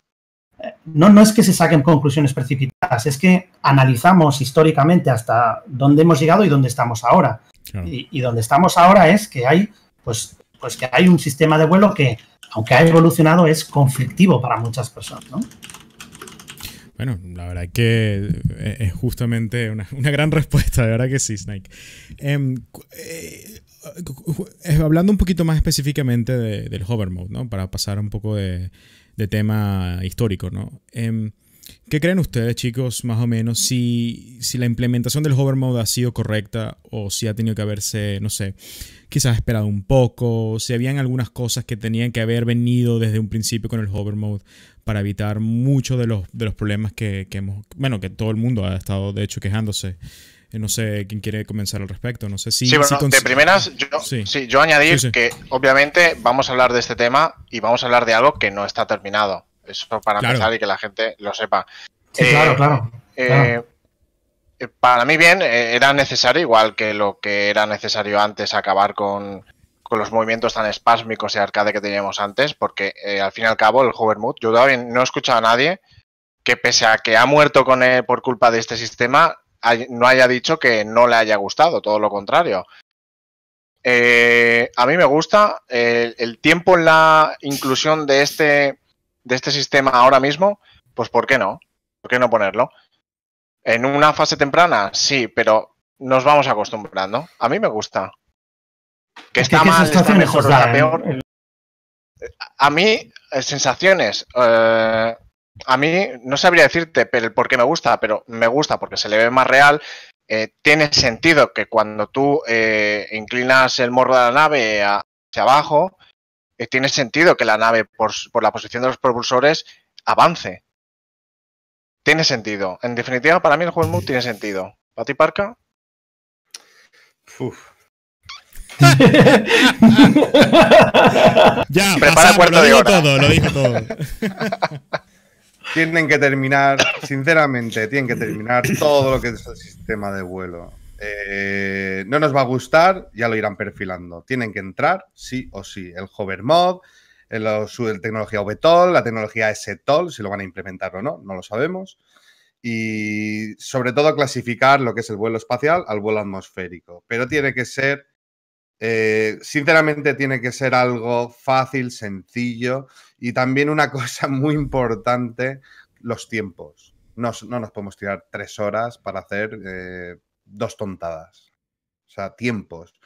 Si el, el hover, el hover mod entra dentro del, sistema del IFCS, en el momento en el que yo inclino, pues la nave per se, con sus trastes de maniobra, me tienen que dar la sustentación. Eso no está. Con lo cual, eh, el modo de vuelo del hover mod, pues eh, activarlo o desactivarlo. A mí a lo mejor no me interesa eh, estar en el modo hover. A mí me interesa bajar la, la velocidad e ir cayendo poco a poco mientras controla la nave. Tenemos muchos trastes, la nave tiene muchísimos trastes.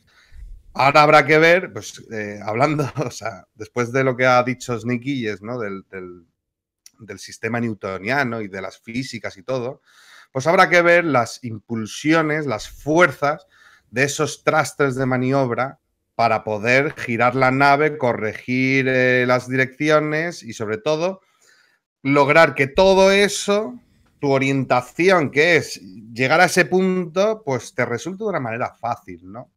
Pero es, es, es, es que es complicado, es muy complicado. Pero yo, por favor, que metan ya todo lo que tengan que meter del sistema de vuelo, aunque, está, aunque esté mal hecho, pero que lo metan y que lo vayan ya perfilando, porque nos falta aún cómo va a volar una Santokai en el vuelo atmosférico, cómo van a volar las naves que tienen los impulsores principales que son articulados, cómo van a maniobrar esas naves. Pues si no son ni siquiera aerodinámicas ya, pero es que cuenta con una tecnología. ¿Cómo, va, cómo van a ser esas tecnologías Banu, esas tecnologías Xi'an? Eh, todo eso que lo implementen ya para que cada persona que vaya a testear X nave, pues diga, vale, eh, las ventajas de estas naves en, este modelo de vuelo, pues es eh, realizar maniobras bruscas. En otras naves, pues más aer aerodinámicas, que la sustentación eh, tenga que estar completamente moviéndose. Yo, yo, pongo el ejemplo de la Hammerhead. Una Hammerhead no se puede plantar con las torretas mirando hacia abajo. Eso va, eso, vamos. Si eso lo hace, da igual la nave que tengamos, vehículos terrestres o lo que sea, porque esa nave va a arrasar. Entonces, mm. claro, la, el, el, sobrecalentamiento de los thrusters, el sobrecalentamiento de los componentes, eh, thrusters fijos, thrusters eh, que, se, que son direccionales, impulsores fijos, impulsores articulados, eh, VTOL, tecnología VTOL, tecnología STOL, joder, meterlo ya todo y, y, que, y, que, acaben ya por fin de una vez. Que nos gustará más o nos gustará menos, pero que lo acaben ya, por favor. es lo único que digo. ¿Y tú, Ted? ¿Qué opinas? Bueno, a mí me gustaría, antes de dar mi impresión, eh, leer un poco la impresión que dejó la gente en el chat acerca del sí. VTOL. Hmm. Eh, por ejemplo, Cartaginés dice que el Vitol es una basura Muy literal. Tal cual. Eh, Doctor Lirio dice el Vitol no debería existir. Em, Taroyami dice Hovermood, hay que hacer que si no tocas se estabilice sola la nave. Em, a ver, Miosid dice que el Vitol es imprescindible. Eh, a ver, alguno más. Eh, bueno, doctor, Li- doctor Lirio vuelve a decir que el Vitol se lo metan por donde ya saben. Es contundente la Este, gente. Sí, sí, sí, la gente eh, es contundente. Taroyami dice algo que eh, eh, hizo referencia recién este, Parca a que la, la nave tiene thrusters adelante, por lo que debería ahí lograr ese, ese balanceo, ¿no? Cuando uno inclina la nave. Eh, bueno, so- son, son variados los comentarios. Eh, de mi parte, me gusta el sistema, ¿sí? No como está implementado, pero sí me gusta que le dé ese toque de realismo a lo que es el aterrizaje, como también el despegue, ¿no? Eh, en, la aviación, en la actualidad, eh, el despegue y el aterrizaje es parte vital y fundamental de, un sistema de vuelo. De hecho, según he escuchado a gente que está relacionada con la aeronáutica, es quizás lo más difícil de, de- de pilotar un avión, o sea, el Mm, despegue y el aterrizaje.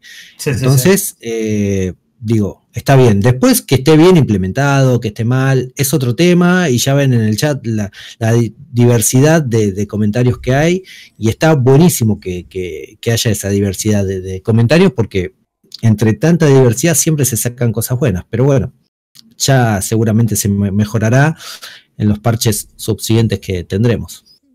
Ahí había un comentario, Kitsune lo, lo hizo, y es una frase muy sencilla, muy simple, y creo que eh, todo se resume a eso, ¿no? Yo quiero controlar mi nave, no que mi nave me controle a mí. Y eso, Exacto. y eso a mí me parece que, que- que es lo fundamental. Y yo he, yo he sentido que he perdido un poco ese, ese control en la nave, ¿no? Pero por muchas otras razones, ¿no? Tiene que ser por culpa de... Es por culpa de lo nuevo, ¿no? Más que quizás el La inercia, técnico. la inercia Sí. no controla. La inercia la- ya no controla la nave, la dirección. Sí, eh, obviamente yo, yo entiendo el, el tema de la, de la inclinación, que a veces puede ser bas- bastante molesto. De hecho, Board Gamer hizo un video hace poco, él haciendo un poquito de gameplay con, con ah, la Prospector, de hecho, haciendo minería. Y justamente dijo algo que yo no lo sabía, yo no lo conocía. Eh, hay un botón que yo desconozco, no, no sé por qué no lo sabía, nunca había escuchado a nadie, ni siquiera usándolo.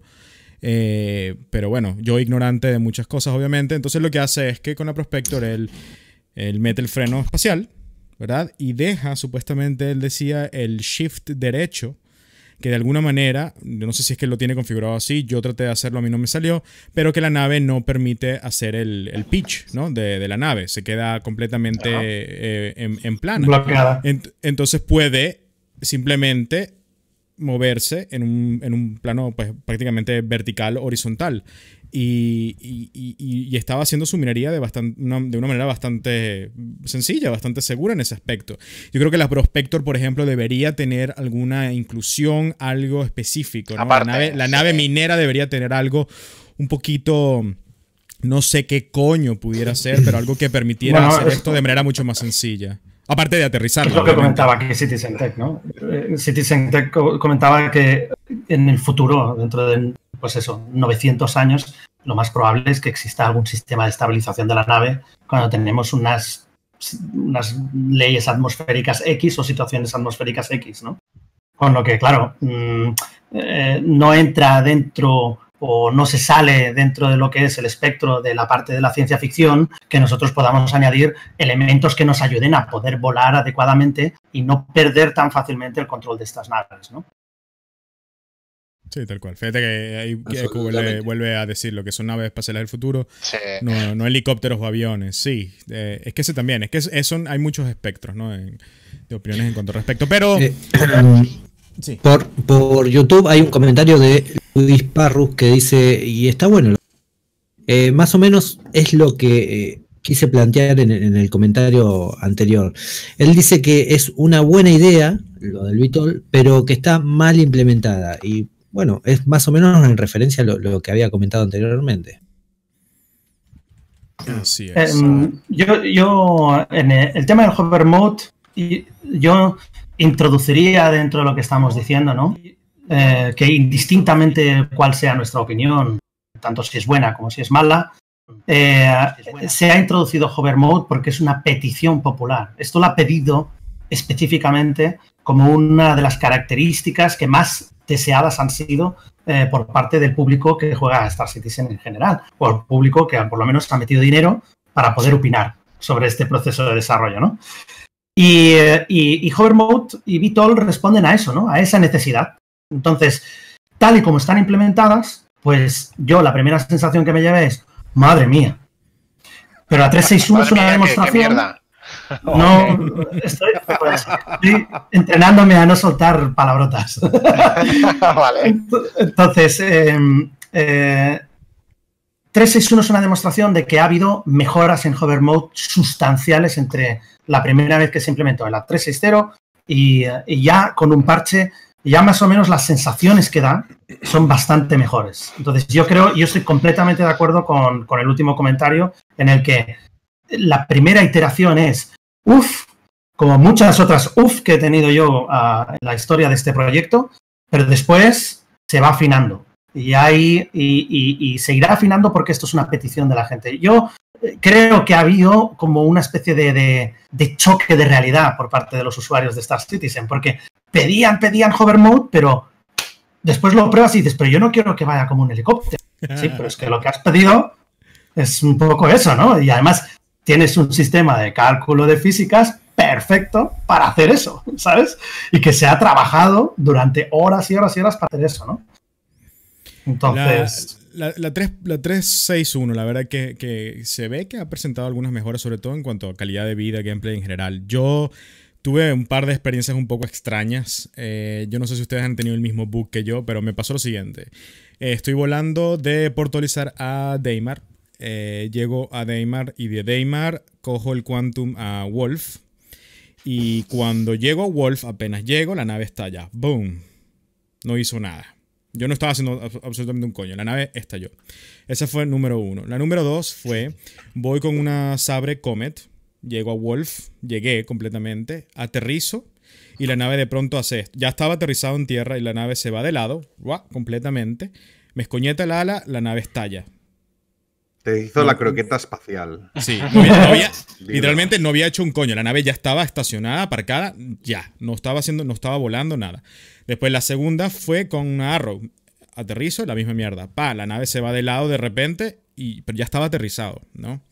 Y, y, y, la verdad que es un bug bastante molesto, ¿no? Si es que era un bug. No sé si yo hice algo, pero lo dudo. Porque pero mi nave estaba yo me acuerdo, me estoy acordando, y esto juraría que es antes de la de la 3.5 y aquel que tenga una Herald quizás lo haya, lo haya eh, visto. Yo estaba eh, jugando con gente, con una, con una, no, la Herald no, perdona, la, esta que es roja que parece una estrella de mar, ah, ya lo iré. La Caterpillar. La Cartual. No, la, la Cartual, la Cartual, uh -huh. exacto, la Cartual. Y con la Avenger también pasaba. Tú aterrizabas y sin apagar los motores o, o a ras de suelo y parecía papel. Se la llevaba el viento, por decirlo de alguna manera. Y ya te hacía la croqueta espacial en aquel entonces. Mola, mola naves, naves, que para mí creo que daban poca sensación de peso, ya pasaba eso. Eh, eh, sí. el, el, el, el, grave, es que... el, eterno, el eterno problema con esos bugs recurrentes que tú dices que no lo han solventado, o sí lo solventaron, pero otra cosa que implementan los ocasiona, es un, es un, un círculo vicioso, ¿no? Es lo que ibas a decir. Eh, y el tema, el tema de bugs, ¿qué? ¿Qué cosa? Sí, digo, dale, dale. No, no, no, adelante. No te, esto ya lo sacamos. No, ok, eh, digo que Taroyami decía ahí en el chat eh, que cuando te sucede eso tenés que apagar los motores, ¿no? Es muy común escuchar que digan, que dicen, bueno, mira, para aterrizar vos ubicate a 10 metros, 5 metros del piso y cuando estás ahí apaga todo, que la nave caiga y ahí se clava. Eh, nada, se me dificulta en, en, en, mi cabeza, digo, ya con mis 43 años encima y ya en, en caída libre, eh, pensar que en el siglo 30 a 10 metros uno tenga que apagar la nave y caer y sostenete que nos caemos, me cuesta, sinceramente, discúlpenme, ver, no, no. Eh, porque ver, mucha gente acá lo toma como mal y, y, para mí es grave, sinceramente para mí es grave, pero bueno. Pero lo dice por la solución. porque ante los siempre No, absoluta, absolutamente, Parca.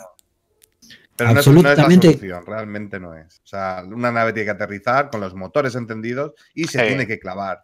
Pero es Sí. que ya pasa. Te coges una. ¿No te acuerdas? Cogemos una balista y empieza a arrastrarse, empieza a moverse. Pero claramente, eh, a, a ver, eh, eh, Kitsune, por ejemplo, dice en el chat, son trucos para evitar el hover mode. Absolutamente, Kitsune, lo sé y los utilizo también. Eh, yo cuando, lo, cuando acabo de decir lo, que dije, lo digo también en un poco modo sarcástico, digo, me parece cómico que dentro de 900 años nos tengamos que poner a 900 metros a apagar la nave para... eh, entonces, eh, e- es parte de un todo, ¿no? Cuando se implementan ciertas cosas, eh, que se implementen y se implementen bien. Vamos de a poco, pero vamos bien. No tratemos de abarcar mucho. Lo digo por parte del SIG, ¿no? Que a veces parece querer aba- abarcar mucho y termina apretando nada. Uy, yo, este, yo abogo, yo más uno total a lo que acabas de Totalmente, ¿no? Eh, hay, un, hay un temita que, que a último minuto justamente eh, Snake había recomendado, ¿no? Estaban aquí antes de haber comenzado el directo, ¿no? Y con este tema de los bugs y esto creo que da un poquito de, de puerta, ¿no? A este tema, ¿no? El, el Issue Council. eh, ya para ir finalizando los últimos minutos de, de este podcast, justamente la relevancia, ¿no? Del Issue Council hoy en día, la aplicación del Issue Council es algo que se considera de verdad necesario, algo que se considera útil o utilizado por CIG en estos momentos. Eh, obviamente esto también te puede meter en temas de Bocati y mucho ese tipo de cosas, pero ¿qué opinan? Yo cuando primera vez eh, se anunció eh, en la CitizenCon de Manchester, hace ya unos añitos, yo, yo consideré que era uno de los avances a nivel de desarrollo de videojuego e interacción con la comunidad más importantes en la historia de los videojuegos. Para mí, para mí.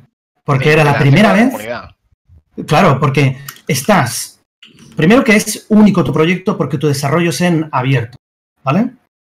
Y lo que estás haciendo es decirle a la gente, mira, estos son los problemas, detectamos nosotros, vosotros los problemas, eh, los exponemos y se ponen en votación. Es decir, ¿cuál es la prioridad que le queréis dar vosotros como comunidad para que yo, Cloud Imperium Games, eh, vaya decidiendo esa prioridad, ¿no? Y lo curioso de todo esto es que al final yo creo que la idea es muy buena, pero no es aplicable al mundo real.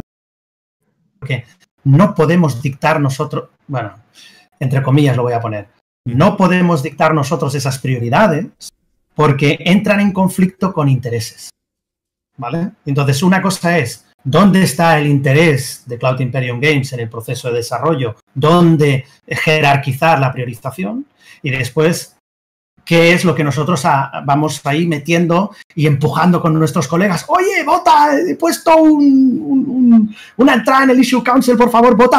Necesitamos subirla para que se arregle este bug, porque, porque me molesta, ¿sabes? Pero claro, ahí entonces es, es una lucha compleja, ¿no? Porque tenemos Reddit, tenemos Spectrum, la gente va diciendo cositas en Reddit, va diciendo cositas en Spectrum, puede meter cositas en el Issue Council, y creo que el Issue Council ha caído, eh, ha caído de su gloria con el tiempo.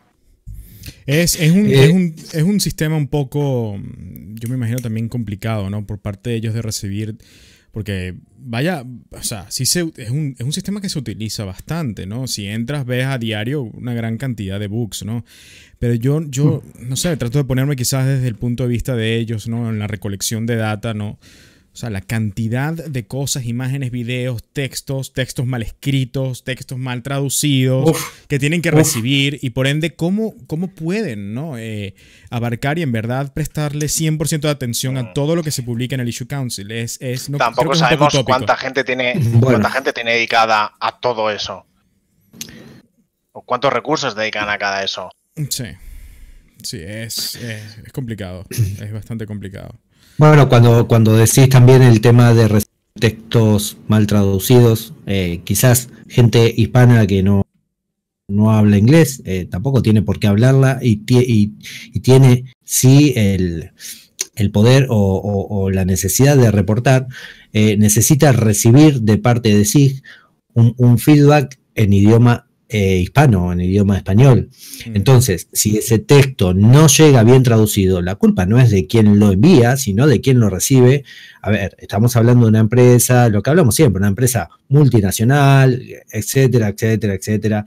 Entonces digo, no culpemos tampoco a la gente que reporta y lo hace quizás de buena fe, pero bueno, con textos mal traducidos y demás, como decís. Mira, quiero leer algo que puso Doctor Lirio en el chat. A ver, déjenmelo buscar. Acá está. Doctor Lirio dice, eh, CIG, como dice mi amigo Arianeo, eh, dice, no escucha a los Evo. Alguien se cree que hacen mucho caso a lo que es el ISOE, ISOE Council. Los Evo dijeron no al Bitol eh, muy claramente cuando lo probaron y aún así lo pusieron. Mm. Snake. Eso, entra... Yo no voy a decir nada sobre esto. Temas de Evo, temas de Evo ya es otra cosa. No. Yo soy muy estricto con mi, con mi, con mi, con, mi contrato. Yo muy, muy estricto. Tu condición de Evo, genial. Vale. Eh, vamos a hacer una cosita, gente gente de Skynet, de Snake, gente del chat. Son las 7. Aquí el que está hablando tiene que marchar. Eh, no sé si vais a querer hacer una pequeña pausa eh, y seguís, pero que sepáis que aquí uno se tiene que marchar. Vamos a seguir. ¿Cuál es el plan, Neo, para, después?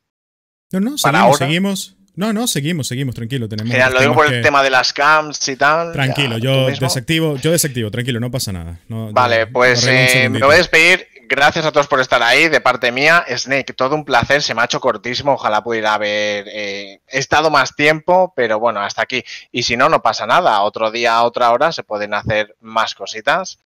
Eh, y nada más, gente, pues gracias por estar ahí, yo me despido, seguid debatiendo, seguid profundizando aquí con el sistema de vuelo, con Snake Agent. Así que nada, un placer, chicos, y me despido. Gracias, Vice, gracias por estar aquí con nosotros. Chao, chao, chao. Vamos a tomar un minutico aquí para yo configurar un poquito las cámaras otra vez de nuevo. Ok, denme un minutico, lo hacemos un segundito. Chicos, en cuanto a 3.6.1, para mientras yo estoy haciendo acá, vayamos conversando las impresiones generales. ¿Qué, han visto que ha mejorado? ¿Qué han visto que han estabilizado en cuanto, en comparando ¿no? con la 3.6 en general? Adelante. bueno, en, mi caso, ok, en mi caso la 3.61, voy a ser sincero, no la probé.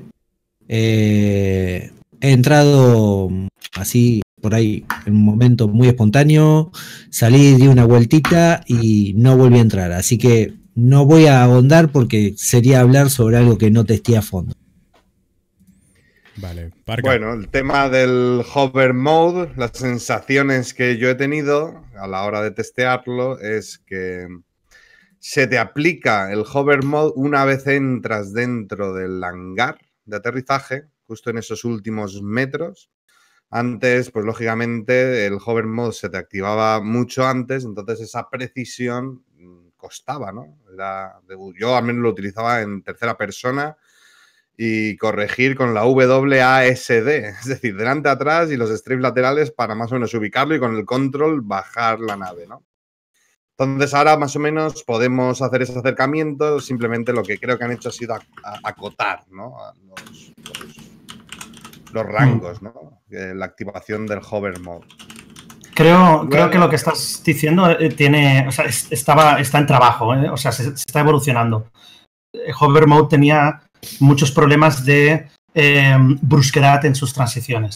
Y creo que están buscando una transición desde el momento en el que pincha hover mode en tu, en tu proceso de aterrizar y hasta que al final tiene todo el efecto sobre tu nave. De manera que esa transición te permita no perder el control de la nave como se pedía al principio cuando se implementó originalmente. Claro.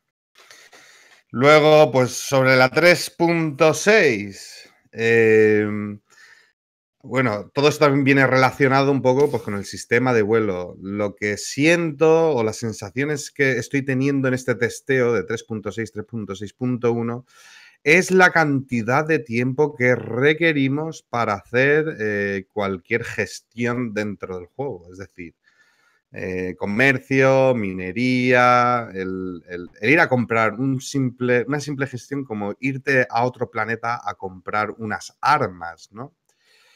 Eh, ¿Qué es lo que sucede? Que tardamos mucho más tiempo, ¿no? En los viajes quantum, eh, estas interdicciones que nos, que nos suceden, yo he llegado a contar hasta cinco interdicciones de un punto A a un punto B. Han, han disminuido, Eso- supuestamente. Han disminuido con el, en la 3.61. Yo sigo comiéndome hasta tres últimamente, hasta tres interdicciones me han llegado a hacer. Eso yo creo que le quita, le quita profundidad al juego, sinceramente. Creo que no es positivo para, para aquellas personas que se cree que esta alfa es un, es, es un juego terminado. Eh, Es retrasar, el, el perder tiempo, ¿no? Ya sabemos pues, que en un viaje quantum, naves grandes, el, el quantum es más rápido que una nave de tamaño pequeño o un tipo caza. Pues si eso añadimos a que nos van a hacer tres interdicciones, pues también toca un poco la, la- la moral, ¿no? Por no decir una barbaridad.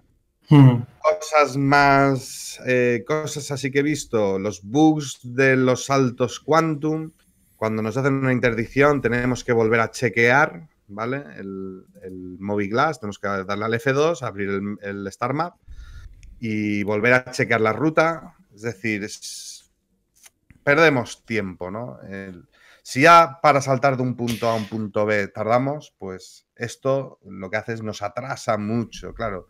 Si hablamos con el sistema de vuelo nuevo, el concepto del hover mode, y vemos que incluso para realizar el aterrizaje tardamos una hora, pues eso lo van a tener que corregir como sea, como sea, porque sí, ya, ya hablaron, ¿no? Por ejemplo, ya se habló de cuando una Starfarer iba a despegar de un planeta como Hearthstone, que te podías tirar una hora para intentar despegar, porque la nave no sube, no gana altura, no gana altitud, ¿no? Entonces lo que hicieron fueron acotar, ¿no? Acotar la atmósfera y que a partir del, de la mitad de altitud, pues ya pudieras realizar salto quantum, ¿no? Para intentar Mm. acotar estos. estos Sí, para, para el que tiene que levantar una reclama. ¿No crees que tiene, Parca, no crees que tiene relación con el obtener? Se te Si querés me-. Eh, A ver ahora. Repito otra vez. sí, sí. Sigue, sigue. Digo, si, si no crees que lo que estás planteando no tiene relación con el beneficio que vas a obtener. O sea, el- las eh, interdicciones, las demoras, el tiempo que lleva a ir del punto A al punto B, eh, tiene una relación directa eh, o directamente proporcional al beneficio que vas a obtener. No es lo, ¿Por qué digo esto? No es lo mismo que tardes X cantidad de minutos, minutos más, minutos menos, eh, en ir de ese punto A al punto B para ganar 1500 AUS que si tuvieras que ganar 10.000 AUS. Porque si tuvieras que ganar 10.000, seguramente esas interdicciones no te interesarían, seguramente ese tiempo en el que no haces nada arriba de la nave, eh, en el salto cuántico, tampoco te importaría. Eh, y es algo que desde, creo, el parche 3.2 en adelante, o más o menos por ahí, eh, todo lo relacionado al comercio y demás se, se nerfeó bastante, ¿no? Fue para abajo el tema de- literalmente. Sí, el tema de la ganancia. Entonces, hoy este, la ganancia es muy, muy poca y obviamente ahí el tema del tiempo es donde juega, donde uno dice, termina diciendo, bueno, tengo que ir a Houston mm, de, de este punto, de Olizar, a Houston para ganar 2.000, 3.000 AUS. No, no voy, no lo hago.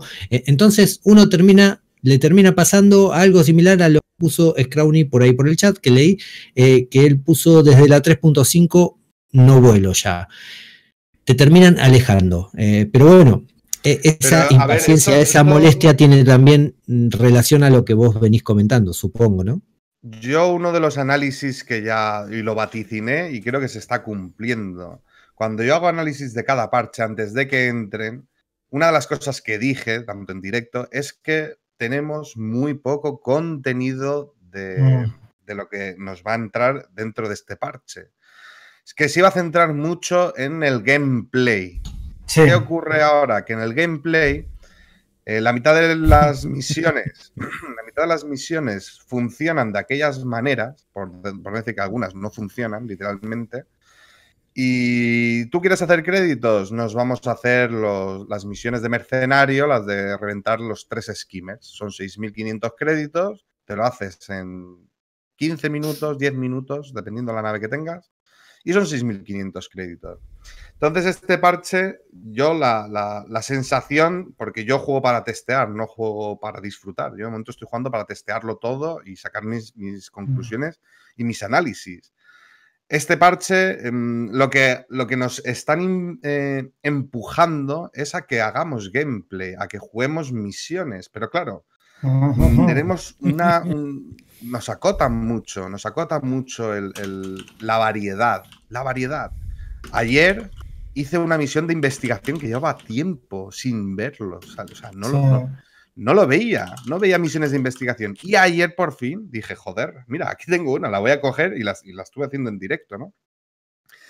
¿Qué es lo que sucede? Es, yo por ejemplo, soy una de las personas que le encantaría que al menos con lo poco que tenemos, con lo poco que tenemos, al menos que nos hicieran rutas de comercio para aquellos que se dediquen al, al trading, al transporte de mercancías. Mm.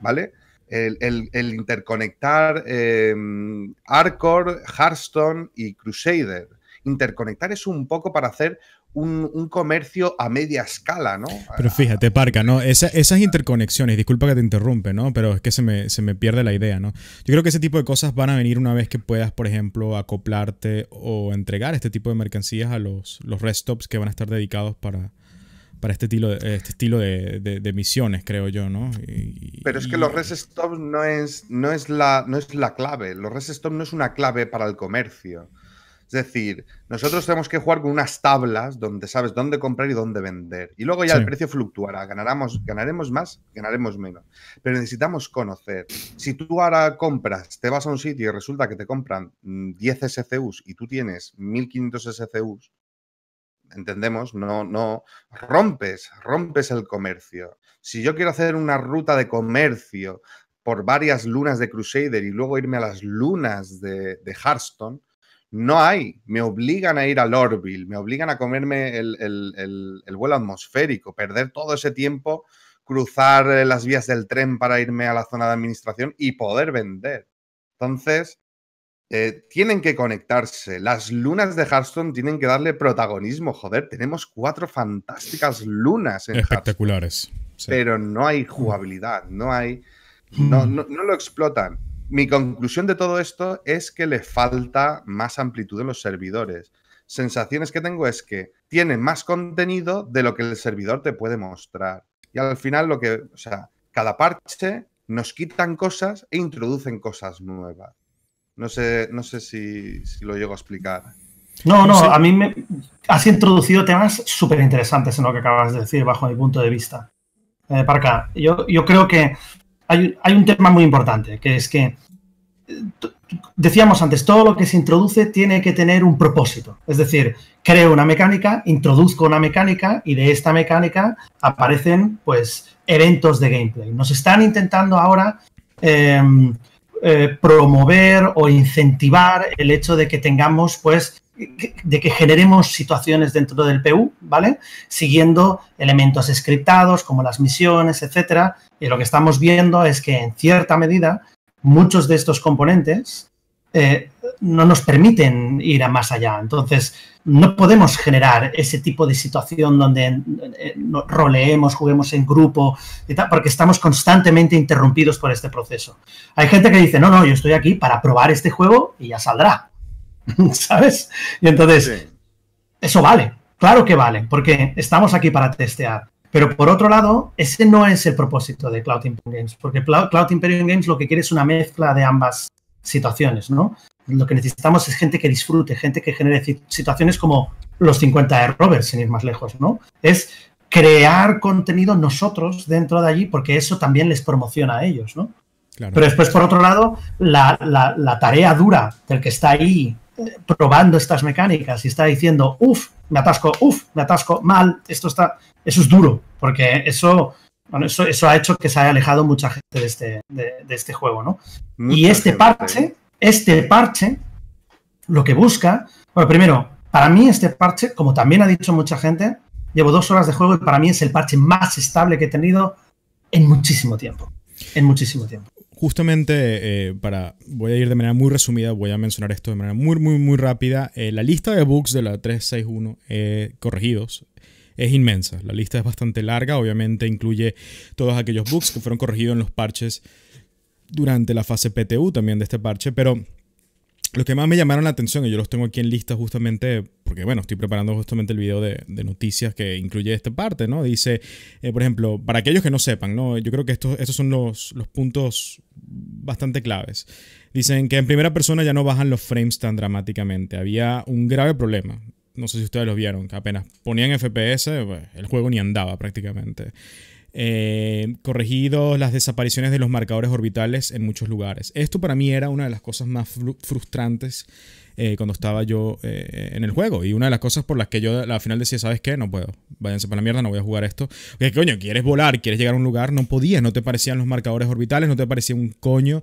Y tenías que sí, apagar la nave, volver a prender la nave, ver si te, te cogía la cosa, o tenías que quitar la ruta del Star Map para volverla a meter otra vez, o volar otra vez. No sé, era un desastre. Creo que es un Muy frustrante.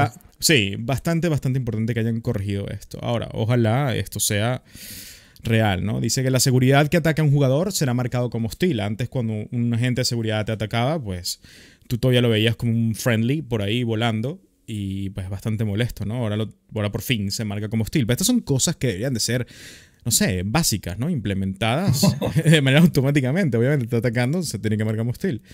Eh, hay unas mejoras eh, en cuanto al Star Marine, cosas muy poco específicas con, con las armaduras y eso, nada muy relevante creo. Eh, la pantalla de carga infinita no debería ocurrir más, cosa que lo dudo. Creo que de hecho a mí me ha ocurrido en 361. A mí también. y ya este, también el, el, el Spawn infinito. pantalla negra con respawn infinito. ¿A ti también No. Sí, sí, cuando ya vuelvo a decir, eh, ingresé, habré estado 10 minutos porque entré, fue un vuelo, pero antes de entrar verso, en la pantalla misma del menú, ahí me, me, sucedió la pantalla infinita. Sin entrar al juego, ¿eh? En la pantalla del menú, sí. y de hecho, bueno, hago comentarios, ¿no? En el video que digo, eso está por verse. Como que yo o dudo que este punto lo hayan corregido de verdad. Que a veces te pone a dudar, ¿no? Eh, escriben estas notas, las ponen en el Spectrum y las habrán corregido y les habrán prestado atención. A veces como que deja un poco que desear. Dice que la cantidad de recs totales en Arena Commander aparece correctamente ahora en la pantalla cuando estás con tu nave y tu cosa. Corrigieron unos errores que habían unos, unos huecos en cuanto al escudo de la Reclaimer. Dice y esto es otra cosa que está después por verse. Después de morir no deberíamos quedar en pantalla negra. Mentira, me ha ocurrido otra vez en 361. Y era una, era una pantalla negra algo extraña, la verdad. Tengo que decir, era una pantalla negra con, no sé, creo que como una especie de luz rara ahí y se quedó ahí extraña, pero bueno, seminegra, vamos a decirlo así. Hay unas mejoras en el personalizador este de los personajes, que yo voy a ser honesto, el, me parece una real mierda, una real cagada. O sea, la manera, la manera, en, que, la manera en que personaliza el personaje en este juego es. Tuvo bombo y platillo ¿eh? cuando salió, pero la tecnología, lo que hablamos siempre. Es que creo que es un ejemplo, es un punto de ejemplo brutal. Hay mucha tecnología, pero después la forma en cómo está implementada. ¡oh! Fatal. Y todavía tienen, son, son tan cara dura en este aspecto, ¿verdad? Que. Se llorar al niño Jesús. No, lo implementaron, ¿verdad? Y yo no sé si se acuerdan, pero una semana o dos semanas después sacaron un video, no me acuerdo quién coño había aparecido en este video, donde empiezan a hablarte. Es más, creo que era Todd Papi. sí. Creo que era Todd Papi, incluso, si mal no me recuerdo. Donde salían hablando sobre otro personalizador de personajes que ellos tienen que se veía mucho más sencillo. Y yo decía, pero ¿por qué implementaron esa cosa? Y, funcionaba perfecto, ¿no? Eh, obviamente la interfase no era la adecuada, era una interfase a nivel programador eh, fea, ¿no? Pero eh, yo digo, eso es lo que tenían que haber puesto, más nada. No, que si la eidonomía, que si esta cosa, entonces que si mezclas caras distintas y entonces, o sea, de verdad. Por favor, e, e, esos son los claros ejemplos que yo digo de cosas mal implementadas en el juego. Esto sobre todo. Después dicen que ya, ya se pueden realizar compras en las lunas de Hurston. Creo que quizás, a lo que Parca decía, quizás esto añade alguito, ¿no? Un poquito de, de gameplay. No, el comercio. Es el, el- el comercio. Yo creo el gameplay, el problema que plantea el gameplay a nivel de un jugador, yo siempre intento eh, ponerme en la piel de una persona que empieza de cero en Star Citizen, ¿vale? Entonces se encuentra con un gameplay, pues con una gran variedad, transporte, mercenario, los bounty hunter, investigación y poco más, y cazarrecompensas, ¿no? Pero una vez ya le das la vuelta en básicamente cuatro días jugando, ya mm, te has visto todo, ¿no? Luego, pues el, el aprender a volar, el aprender a saltar, el aprenderte las localizaciones, pues eso ya requiere un poquito más de tiempo, ¿no? Pero lo que es el gameplay no plantea tampoco grandes, grandes cosas, ¿no? Es sota, caballo y rey. No empiezas una misión y al haber completado esta misión te enlaza en otra misión, ¿no? Eso estaría cojonudo. Que una vez completes determinadas misiones, pues te vayan enlazando, ¿no? Y que siga a lo mejor una, una especie de historia. Eso no lo vamos a tener porque no hay. El servidor da lo que da y punto. O sea, los servidores dan lo que dan y, y- y falta, ¿no? Falta. Yo creo que tienen más contenido de lo que realmente nos muestran. Y entonces nos meten pues lo que pueden, lo que básicamente va estable y venga chicos probar. Ahora el tema de la jurisdicción, el tema de las eh, CryptoKey, ¿no? Las, las llaves de, De hackeo. de quitar son 8.000 creditazos. Joder, que son 8.000 créditos. Que no es tontería. Que yo a veces digo, es que no me vale la pena. No me vale la pena. Me voy a Lorville, pierdo el tiempo. Pierdo mi tiempo, Absolutamente. voy a Lorville y que me No revienten. te están incentivando adecuadamente. Claro, entonces ahí está, o sea, como concepto, como concepto está cojonudo el sistema de jurisdicción, el sistema de leyes, está, está cojonudo, pero no es el momento, ahora no es el momento. El momento es cuando se amplíe los servidores y nos permita meter mm, el, doble de cosas. Es que si no, no tenéis, por ejemplo, os lanzo esta pregunta a vosotros, ¿no tenéis esa sensación de que en parche tras parche lo que hacen es quitan cosas y ponen cosas, pero que siguen en el mismo nivel? Bueno, tiene relación con una de las cosas que han quitado en el 3.6.1, que es la cantidad de naves que spawneaban alrededor de Grimex. Sí. Ya en el nuevo parche no va a estar eso, cosa que no me parece bien porque estaba fabuloso llegar a Grimex y ver una cantidad de naves ahí y, eh, estaba buenísimo, bueno, y ahora ya no va a estar más. El- y creo que tiene relación con lo que dice Parca con el tema de, de los servidores. Sí, le da, le da, Yo le creo da. que hay muchos conceptos que se ven interrumpidos. O sea, hay conceptos iniciales en los cuales yo quiero crear esta localización. Para ello voy a crear muchas naves alrededor de esta localización y tal, para dar la sensación de que es un puerto de paso importante, etcétera, etcétera, y que hay actividad humana, ¿no? O Claro. de NPCs, pero por lo menos que hay una actividad, que a ti te dé la sensación de que no es un sitio abandonado, ¿no? Como Grimhex, ¿no? Hasta la fecha. Bueno, y, y ya, Entonces, ya claro, eso, sí, ya eso, sí, sí. Eh, a eso va justamente lo que están poniendo en el chat, ¿no? Del tema de los barmans, de los bartenders, eh, que lo hemos criticado cientos mil veces. Yo lo, yo, yo lo, yo, yo lo que pasa es que ya empecé a convencerme de algo. Y Citizen, yo creo que tú debes estar más o menos de acuerdo conmigo. Yo, yo eh, critico, ¿no? Lo del bartender, lo del barman, lo del motion capture de esto y tanto hincapié en esto. Pero ya estoy empezando a pensar que el problema es que los tiempos de todas estas implementaciones y de todas estas cosas en verdad no está dictaminando ni la comunidad, ni Star Citizen como tal, ni incluso CIG. Yo creo que ellos ya están, eh, vamos, vamos a decir así, siguiendo la inercia, pero de Escuadrón 42. Yo creo que Escuadrón 42 es lo que está en verdad dictaminando ahorita todo lo que se pone en el juego. Y por eso Más da esa sensación, por eso da esa sensación de lo que dice Parca, de que quitan, ponen, quitan, ponen cosas. Y yo lo que creo es que simplemente están metiendo cosas que desarrollan para el, para el Escuadrón 42, tratan de ver cómo se las meten al Star Citizen. Pero yo ya estoy casi convencido que Star Citizen como juego online aparte no es la prioridad de Cloud Imperium en estos momentos. Pero esto es mi punto de vista personal. Yo, yo comparto la sí, visión. tampoco. Dime. Perdón, perdón. Que está, eh, Adelante, sí. adelante. No, no, ¿qué dijiste? Que no- que eh, yo, yo comparto eh, yo comparto la visión con respecto a esto. Yo creo que eh, para evitar el argumento de que esto es alfa, que parece ya sacado del libro mormón galáctico de los paladines de Chris, en el ámbito que ocupa, en el ámbito que ocupa el modelo de nos encontramos ante dos problemas que pueden llegar a buen puerto siempre Así que, o sea, no, no, no es que sea un pesimista, ¿vale? O sea, no, no me llaméis pe- pesimista de forma anticipada, pero uno de estos problemas es que el análisis histórico, ¿vale? Como por ejemplo, Escuadrón Escuadrón 42 ahora es el legado histórico de Wing Commander, Star Lancer, Star Citizen, es el legado histórico de Privateer, ¿no? Por ejemplo, por ponerlo de alguna manera. Sí. Pero mucho más adecuada sería la comparativa con Freelancer, ¿no? Que es, que es el juego más cercano que Chris tiene en su historial, ¿no? Y en el primer, y, y en el primer caso, pues la, experiencia cine- cinemática y tal es lo que se lleva a la palestra este, este juego, que es Escuadrón 42, con lo que todo lo que se está creando tiene que estar preparado para Escuadrón 42, porque al fin y al cabo tiene lógica que sea eh, em, el, el punto de foco ahora en estos momentos, porque tiene un deadline, tiene, tiene una fecha de entrega que es importante. Es importante porque hacen falta sus ingresos. Creo que esto lo habéis hablado vosotros en, en- en capítulos anteriores de vuestro podcast. El- el- Snake. el- escua- sí, dime. ¿Vos crees que esa fecha se va a cumplir? La beta, dicen ustedes. Ostras, espera, espera, que voy a yo- por la bola de junio- cristal. Junio, julio del 2020. Nah, ni La de beta. vaina, ni de, ni de, como dicen en España, ni de coñas.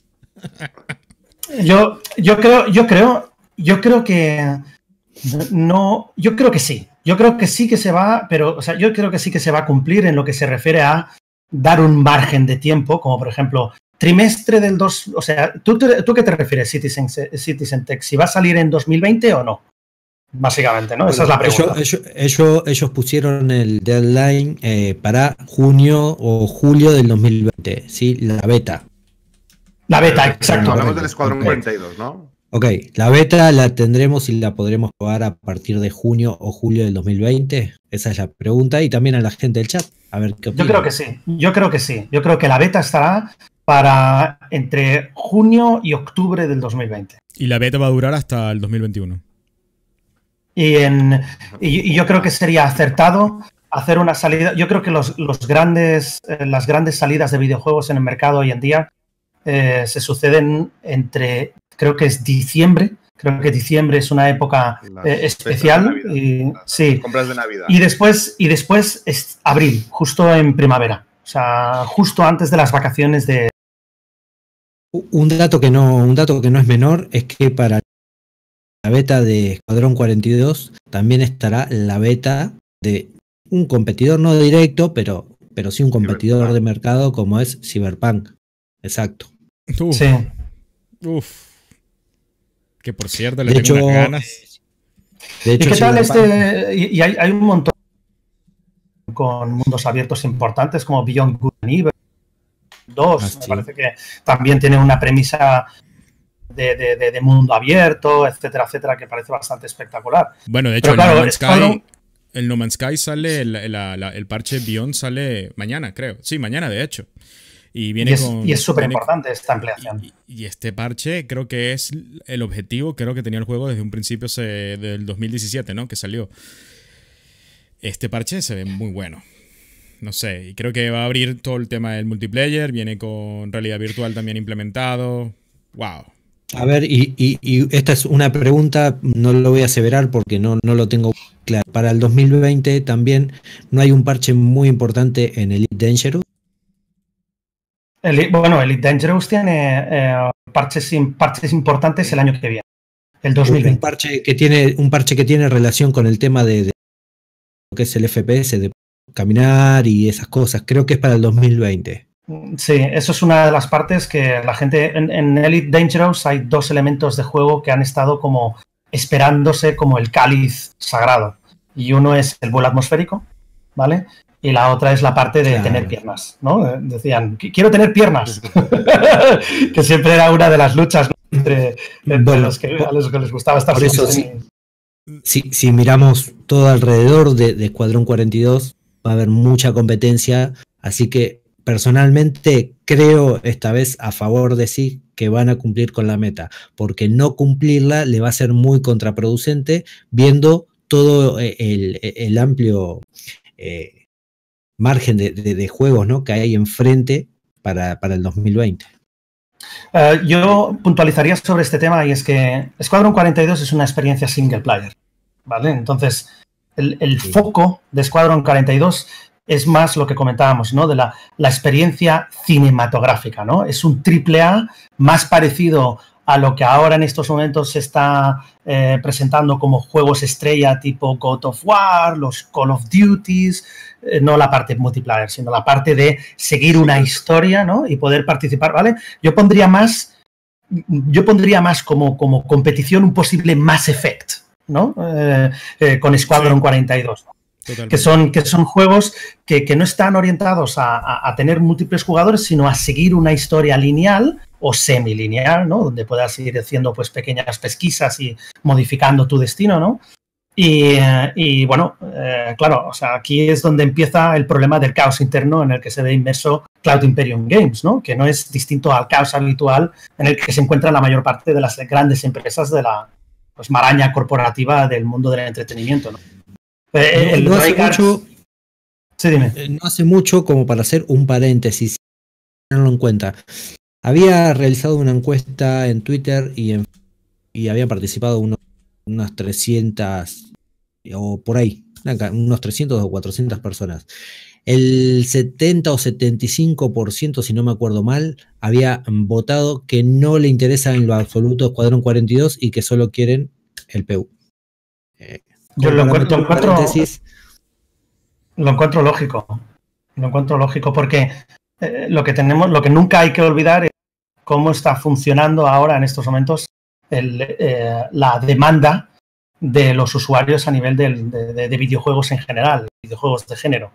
Y en los videojuegos espaciales se pide más ahora un nivel de interacción que, que antes no se tenía. Yo creo que Squadron 42 responde más a la necesidad de- del pasado, de gente que es nostálgica de los juegos de antes, y Chris es un nostálgico, ¿vale? sí. Y, y, eh, y creo que este es como su, como, su niñita, ¿no? Tiene que salir antes porque responde, pues eso, a que necesitan pasta, a que hay que, a que hay que promocionar el juego, a que Star Citizen detrás de Squadron 42 puede brillar si Squadron 42 tiene pegada a nivel comercial. Y, bueno, las experiencias single player cada vez hay. Bueno, hay gente y hay mucha gente y tiene mucho mercado, pero lo cierto es que la gente que juega a este tipo de juegos pide más una experiencia multijugador antes que una experiencia single player. Pero por supuesto, Claro. porque ¿cómo llegamos todos a este proyecto? Y vamos a ser sinceros, ¿no? Yo, en- yo en lo personal fue porque estaba buscando un juego multiplayer, online, eh, para, para jugar con la gente. Y obviamente te lanzan... Yo, me- yo me acuerdo, yo vi el, prim- el primer video de Star Citizen, yo en verdad lo vi, aunque yo en verdad me creé mi cuenta y compré mi paquete en 2016, yo en el 2013 creo... 2013-2014 fue cuando yo en verdad vi un primer video, un primer artículo, una primera muestra de algo de Star Citizen relacionado a eso. Y cuando lo dije, cuando lo vi, dije, wow. Me quedé loco y dije, nada, este es el juego y ya, punto. Y no es ni la sombra de lo que vemos hoy en día. O sea, y, y- pero todos llegamos es buscando una experiencia online multiplayer. Nadie vino buscando una experiencia offline eh, single player. Nadie lo hizo. Yo, Dime. yo, ¿Tú? yo. ¿En serio? Yo entré, sí, yo, yo, ¿Qué haces aquí? Vete. No, no, no, pero que tiene, tiene sentido, tiene sentido. Pero yo cuando empecé con Star Citizen, yo quería un sucesor de Wing Commander. De hecho, estaba buscando información sobre Wing Commander en un foro. Y porque yo jugaba a, a rol de Wing Commander en el IRC hace años. Bueno, eso es que soy viejo ya. Entonces, Sí, eh, eh, sí, entonces sí, uy, os puedo explicar anécdotas de esto. Porque me encontré a Ben Lesnick allí. Eh, eh, yo jugaba Wing Commander, entonces, ¿qué pasa? Que un día buscando en un foro, buscando tal, a ver si saldría algún juego de Chris Roberts, pues sabía que se dedicaba al cine, pero tiene que volver al mundo de los videojuegos. Y había una entrada en uno de los foros diciendo, pon este código de ceros y unos en la, en, en la siguiente página web y te suscribes. Y lo hice, puse los ceros y unos, to, la secuencia, y salió una fecha, el 12 del 10 o 10 del 10 del 12 o algo así, ¿no? Sí, 10 de 10 del 12 creo que era. Que fue el día en el que se anunció Star Citizen, con el vídeo, con la promoción, etcétera, etcétera. Y yo tengo el Golden Ticket Holder, que se llama, que es el ticket de conmemoración a las personas que se registraron en Robert Space Industries antes de que la página eh, se pusiera en marcha. Wow. Y cuando empezó y vi el vídeo de Star Citizen, el primero de todos, donde salía eh, la Bengal y el combate aquel entre la- la- las naves Bandul y la Hornet y tal, yo casi tuve, casi tuve un orgasmo masculino múltiple y, y dije, yo, yo quiero volver a esa experiencia cinemática que tuve cuando era joven, ¿sabes? Y, y claro, y es así como entré. Lo que pasa es que, mira, me, me- entré en el PvP y, y- y pasan cosas. pero O sea, que pero tú- mi tú eres- original es ese. Tú eres el ultimate freaky, ¿no? Más o menos así. No, no, que hay muchos más como yo, porque yo me, yo- que yo me registré, pero había muchos, muchos antes que yo, porque tengo el número. Bueno, y, Do- y Doctor Lirio ahí lo está diciendo en el chat también. Dice, todos los originales buscaban un sucesor de Wing Commander o algo parecido. Pues, imagínate, uno aprende cosas. Que, verdad que esa historia me, me encantó, de verdad que sí. Eh, Pero bueno, vosotros sois la mayoría. Ahora. Bueno, sí, yo, yo honestamente, yo estaba buscando, eh, yo, mi juego, creo que el juego anterior con el que yo me la pasaba era el Warcraft. Imagínate, que no tiene nada que ver con Star Citizen. Y antes de eso era un juego, yo no sé si ustedes se recuerdan, esto es, esto me avergüenza un poco decirlo. Sí, vamos a decirlo, no importa. Era un jueguito RPG que se llamaba Ragnarok Online, imagínate. Que era un juego Ah, ahí, core- un jueguito ahí coreano que, tío, yo pasaba horas, se me quemaban los dedos jugando eso. Esa, esa eran mi- mi- mis vicios, ¿no? Cuando vi el, el, el trailer de Star Citizen el primero, dije, nada, este va a ser el próximo y bueno, todavía seguimos esperando. Para, a ver, pasar un, un, un temita aquí ya para concluir. Eh, creo que ya estamos llegando a nuestra hora límite, más o menos. Em, pues recientemente nos mostraron algo, vamos a hacer un temita ya un poco más ligero, ¿no? Nos mostraron un poco de la 890 más a fondo, la nave tan esperada, una nave la primera nave capital tan esperada por muchos eh, en este juego y la verdad que estuvieron mostrando unas cosas bastante bonitas, bastante simpáticas. Eh, déjame poner aquí el video mientras, a ver qué, qué opinan ustedes sobre lo que estaban mostrando. Bueno, interesante. el- y- y lo más interesante, sinceramente, eh, es el aro de básquetbol que pusieron ahí al lado del hangar. Como Prometheus, dijeron. No, no, va- vamos a hablar en serio. Es que, es que caigo en estas cosas porque no las entiendo. No, no las entiendo. Pero bueno, eh, me, gusta, vuelvo a decir, es una nave que sinceramente uno la va a ver en el verso y va a quedar así impactado. Y estoy esperando que algún compañero de ahí del verso me diga, Citizen, vení, eh, subí, conocela, porque obviamente no, no la voy a comprar porque no, digo, no, uno no, no le interesa el tipo de rol de llevar pasajeros y esas cosas. Al menos hoy, mañana se verá. Me parece una nave que va a ser impactante a simple vista, con 68 habitaciones, si no me acuerdo mal. Es Tal cual. una, una bestialidad. Eh, supongo que las habitaciones no van a ser para una- un solo pasajero, quizás No. sea para dos, quizás haya de No, pero diferentes. 68 ¿no? habitaciones lo que completa la nave. O sea, no es Eh. un- la sala de, de médica es una habitación. Los dos. Ah, el total, es buena la aclaración. Sí, la carga, la, la zona de carga es una habitación y, y eso. Eh, yo, y yo propongo aquí de una, si están de acuerdo, que el, el- el podcast, ap- apenas salga esta nave, el podcast que esté en ese, en ese momento, lo vamos a hacer un podcast virtual dentro de la 890, creo que estaría bastante interesante. Eh, así que no sé si están de acuerdo de eso. A ver, Snake, si te antojas, te invitamos también y vienes a, a ese...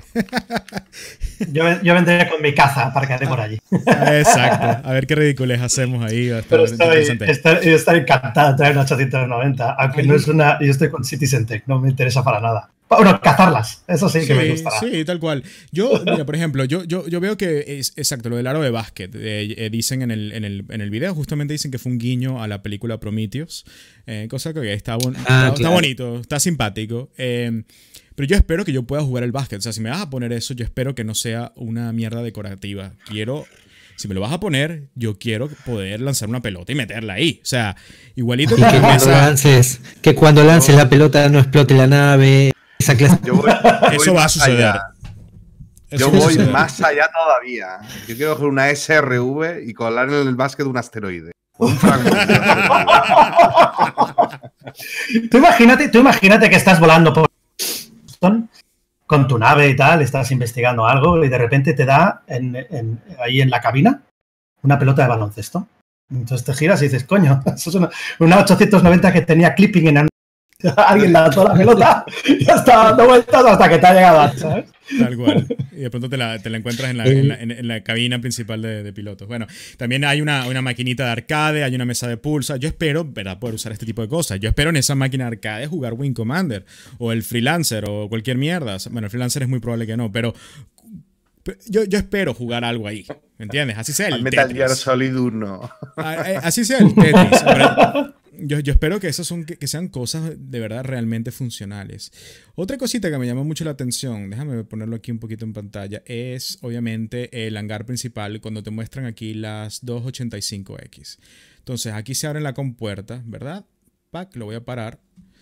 Y yo no sé ustedes, pero viendo ahí, y un amigo mío, Kat, eh, justamente me, me dijo, oye, pero la verdad que hay suficiente espacio ahí como hasta para meter una Vanguard.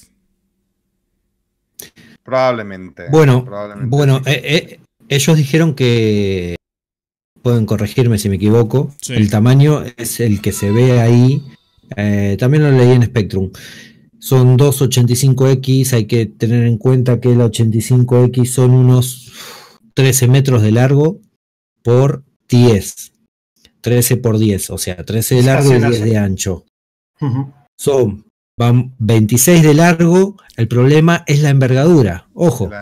Eh, 10 metros es muy poco y obviamente un, un Vanguard no tiene 10 metros de, de envergadura. No, eh, es verdad. De- y de hecho, habían unas, unas imágenes que habían sacado donde mostraban también una 300i ocupando ese mismo espacio.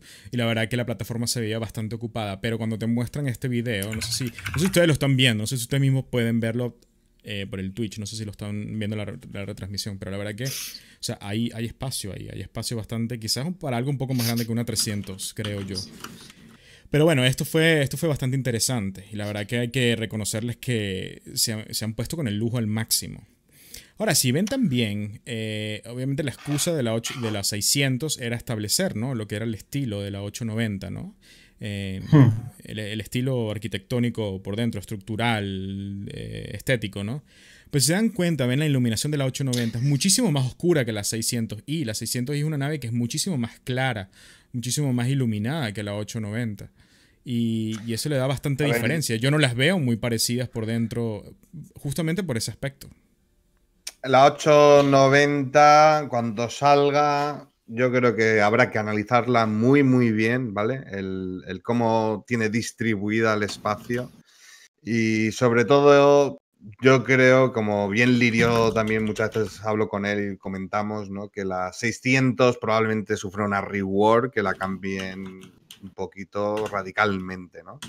Por la distribución de los espacios.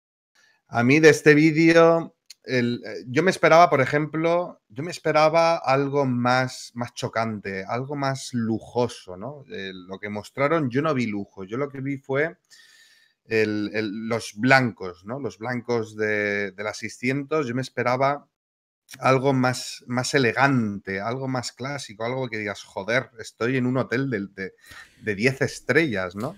Claro, pero recuerda, que recuerda que que- también solo te están mostrando, eh, te mostraron simplemente los lower decks, ¿no? Las plantas bajas de la nave. Y solo te mostraron que si la parte del spa, te mostraron, es que no te mostraron un área realmente, realmente comunal, sino te mostraron que si un- hay un pasillo, ves, por ejemplo, lo vamos a ver ahorita, justamente lo van a poner ahí. Sí. Hay Mira, la parte que más, más me gustó de este vídeo es la sala de espera, que es esta de aquí. Esa, Esa- sala, ¿no? El, el- el que tú recojas, sea, en lo que soñamos de la 890 YAM, el que tú recojas al cliente, aterrices, y ese cliente, pues digamos, eh, se va a esta sala de espera, ¿no? A, que- a- a esperar a que alguien lo coja y lo atienda y lo, y lo lleve a una habitación. ¿No? Eso es lo que más o menos todos soñamos. A la que se cumpla o no se cumpla, pues el Sí, destino, los una- años y el desarrollo dirán.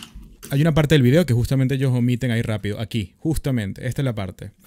Eh, que es antes de mostrarte el spa, ¿no? Te muestran esta, esta parte que se ve que tiene unas la- escaleras que, te, que te llevan a la las plantas medias. Sí, te llevan a una, a una planta media. Y creo, es más, si no me equivoco, creo que la, el- la cabina de piloto está por encima del spa, debería estar, creo, según lo que estoy más o menos entendiendo aquí, viendo el gray box que habían hecho ante- anteriormente. Puede que me equivoque, pero bueno, fíjate que se ve bastante plano aquí. Y creo que es por eso que no lo muestran, creo. Porque no hay mucho texturizado, creo que no hay mucha pintura, no hay mucho efecto aquí agregado. Pero yo creo que... Bueno, ¿verdad? Ahora, yo creo también de que estas naves, una de las cosas bonitas que creo que va a tener, ¿no? Es cuando esté el inventario físico, ¿no? El poder poner Claro. macetas con plantitas, el poner un cuadro de Citizen Tech firmado por él, por supuesto. el, el redecorar todo esto, ¿no? El inventario físico es para mí eh, es una de las bases también muy importantes del universo de Star Citizen, ¿no? El, el que tú, por ejemplo, cojas la bahía de carga de una Freelancer Max y puedas poner quizás un armario donde poder cambiarte la ropa, un armero donde guardarlo, ¿no? La- las carencias que tienen las naves, el poder suplirlas con, con objetos, armarios, armeros o lo que sea, ¿no? El poder suplirlo con inventario físico. Ahora te destruyen la nave, lo pierdes. Pero cosas así eh, estarán interesantes de ver y, yo espero que, se, que sea de esta manera, ¿no? El poder redecorar, el poder utilizar el espacio para, pues claro, para personalizar un poco lo que es Fíjense el en- interior. Fíjense en lo que, lo que habrá cas- causado en, en la comunidad 90, que ya nadie se acuerda de la Carrack. Ey, ¿Eso? Eso está para ey, diciembre. ey. Eso está para diciembre. Ahí es donde va, va a amasar una fortuna, sí, va a amasar una fortuna por la Carrack, la Prowler y la Hulce. Y ojalá que la 890 llegue a mil, a mil pavos. ¿ah? ¿eh? Eso, y encima, Eso, encima queremos y que encima supere que los llegue a mil mil pavos. pavos. Snake, ¿cuál es tu nave favorita? ¿Cuál es la nave ahorita que estás así más o menos a la espera de verdad que, que quieres que implementen? Yo creo que. eh, ¿Qué, qué- qué- qué prefieres que te diga? ¿La que me gusta de las que están implementadas? Las que no han implementado, que quieres que implementen. Eh, yo creo que. Yo creo que me faltan naves Banu, con lo que tengo ganas de ver. Tengo, tengo muchas ganas de ver qué, qué fisionomía van a tener las naves cuando estén in-game, ¿sabes? Y qué sensación van a tener cuando las vueles y tal, porque van a tener que impregnarlas con una filosofía distinta de vuelo. Con lo que me, me interesa ver exactamente eh, cómo la implementan a nivel visual, cómo acaba dentro del juego y después cómo vuelan esas naves.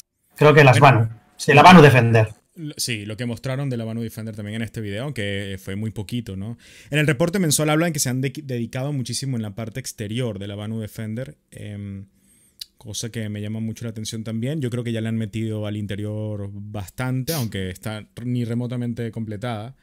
Por ahí ven, y, y la verdad es que se ve. A mí me acuerda mucho a esta película. ¿Se acuerdan de la película Especies? Species. Sí, Ah, sí, sí, con sí, sí. Natasha, con la, en la tal Natasha, ¿no? Que esa, bueno, Sí. volvi- volvió loco más de uno, ¿no? Em, sí, sí. el, el ar- el artista que, que hace es- que, que hizo el arte, ¿no? Y, y, bueno, y creo que también tuvo que ver con él, con Aliens también, ¿no? Eh, era un artista alemán o suizo, creo, no me acuerdo. Eh, no sé, yo, yo veo la H- el HR Giger. HR Higer, exactamente. Yo veo, yo veo dentro la, la, la Banu como está quedando y, y- y lo que me recuerda es a eso. Y la verdad es, pero, o sea, de la A a la Z parece hecho por él. Y la verdad que Sí, se, ve, se, ve, se ve muy increíble, de verdad. Muy orgánica por dentro. Eh, mira, aquí tienes, claro, muy preliminar la, la parte de piloto. Claro, es para dos personas, ¿no? Esta, a ver qué más muestran. Para mí la Banu Defender con los, con los dos pilotos se asemeja un poco a la Super Hornet, ¿no? Eh, A nivel, de fu- a nivel funcional, Sí. Dos personas. para buscar una equivalencia. ¿eh? Y después de esto, la, la Merchantman, la, la favorita de la parca, ¿no? Creo. La Manu Merchantman. Yo, yo es que quiero ver el, el nivel artístico de locura. O sea, esto lo tiene que hacer un artista como, como es- era Salvador Dalí. Tiene que coger una nave enorme, meterle un centro comercial, meterle habitáculos y que no se asemeje para nada mm, en la estética de las naves actuales, ¿no? O sea, ¿cómo, cómo va a ser? Yo tengo, yo, yo tengo una, o sea, es, es- es una que ya está en mi flota permanentemente, la, la Banu Merchantman. Yo creo que aumentará de tamaño, estoy, estoy convencido que va a aumentar mucho de tamaño, más de lo que ya, ya mide. Y veremos eso de que pueda aterrizar en planetas. Claro, si es un centro comercial, es que hasta el, espacio, hay que jugar con, con el espacio físico de dentro de la nave, ¿no? Y que haya amplitud. Si es un centro comercial, que, que no sea eso tan claustrofóbico, ¿no? Mm. Algo así, la, espero. la Van Charman para mí eh, aumenta o, o expande el universo sci-fi de Star Citizen, ¿no? Me, me- me recuerda a cosillas como Babylon 5, eh, ¿sabes? Cosas que, que- que te permiten ver variedad. Eh, y eso para mí es súper importante, ¿no? Star Citizen ahora es, hablamos todos de que eh, hay, hay gran tecnología, pero está vacía por dentro, ¿no? Y en cierta manera lo que buscamos nosotros es cómo vamos a llenar ese vacío. Y creo que una de las partes fundamentales es darnos elementos con los que podamos jugar, ¿no? Y, una Banu Berchanman in-game debe ser algo, tiene que ser una experiencia brutal. La verdad que sí. Es que ya, ya empiezas a hablar de cosas ya extraterrestres, no solamente la Cartual o la Santoquia y ese tipo de cosas, no, ya está. Ya empiezas a ver las cosas, ¿verdad? Propiamente dichas. De hecho, también en el reporte mensual creo que mencionaron eso, de que están ahorita discutiendo o planificando más sobre todo lo que va a ser el arte y el estilo de los Tebarín, ¿no? O Tebarin, no sé dónde está la- el acento en la, en la palabra, ¿no? Pero. Eh, claro, ahorita el universo es todo humano, ¿no? Humano aquí, humano allá, no hay enemigos, no hay alienígenas, monstruos, cosas que atacar, que, que cuando eso esté implementado ya es cuando será un juego propiamente dicho. Ojalá. Y además, como los pobres están asimilados, en teoría tendrán retazos Tebarin, ¿no? Creo que es Tebarin, si no Sí, recuerdo mal. Tebarin, Tebarin, Y, y- y- y esa idea de que los Tebarin se rigen por un código parecido al Bushido y tal, esto, esto es algo con lo que se puede jugar tanto que, que- que yo creo que puede haber muy, muy buenos elementos si están bien implementados, aunque sea solo decorativo. dentro. Ahí en el chat hay gente. Hay mira, hay fanáticos ahí de la Prowler, la Endeavor, creo que causa conmoción. La Carra, que obviamente quizás es una de las que más, obviamente. Eh, la Mercury. La, la garra tiene que ser un tiro seguro, ¿eh? La Sí. garra, si no es un tiro seguro, es la mayor cagada de la historia de los videojuegos que cometería Zig no haciendo de la que- porque es la nave de, de- de la comunidad. Sí, o sea, tal cual. si hablásemos de qué nave es la de la comunidad, es la Carra. Lo siento, no hay otra. La Carra, todo el mundo ama la Carra. Entonces, si la cagan con la Carra, o sea, Yo creo que la Redeemer es, es, es la que todo el mundo. Yo creo que esa es como la, la gran espina clavada de Cloud Imperium Game. Y lo Creo que la. Banu es, es, la nave, es la nave que más tiempo lleva en desarrollo prometida, porque Banu la Banu Merchantman es anterior a la Endeavor, es anterior a muchas naves prometidas en el juego que no tienen aún eh, nada de cohesión. Y, y finalmente, pues eso. Bueno, Ah, chicos. A ver, tenemos ya dos horas y media. Creo que vamos a ir cerrando.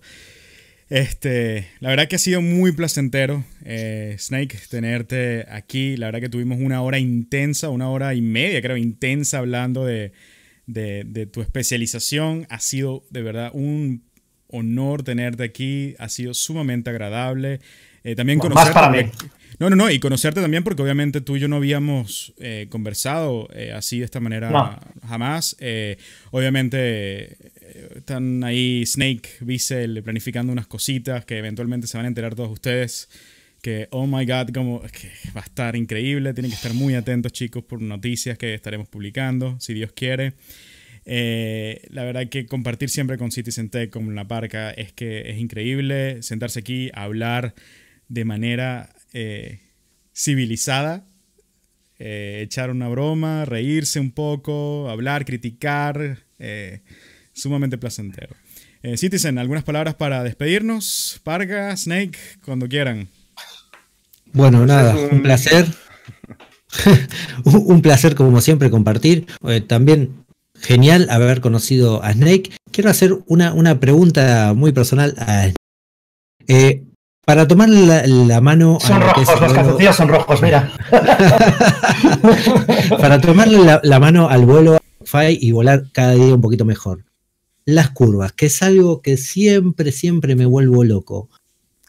Personalizarlas o aprender como vienen por default. No, personalizar. Ok. Así Yo- cortita fue la pregunta.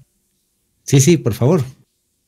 O sea, yo, yo he, estado, yo he jugado uh, mucho más con dual joystick que con Ahora juego más con Jotas. Eh, nunca, nunca pude llegar a una sensación confortable con los dual joysticks hasta que no empecé a tocar las curvas. Con lo que, lógicamente, te diría, lo primero es tocar curvas porque eso es lo que te permite después familiarizar mejor. Yo voy, yo voy, a tener que eh, contratarte por un par de horas para justamente que me, me, me ayudes. Personal training. Sí, un personal training de estos de verdad, que le pagaría por el cursillo, te lo juro, porque yo... Si me dais una habitación dos días gratis en la 8...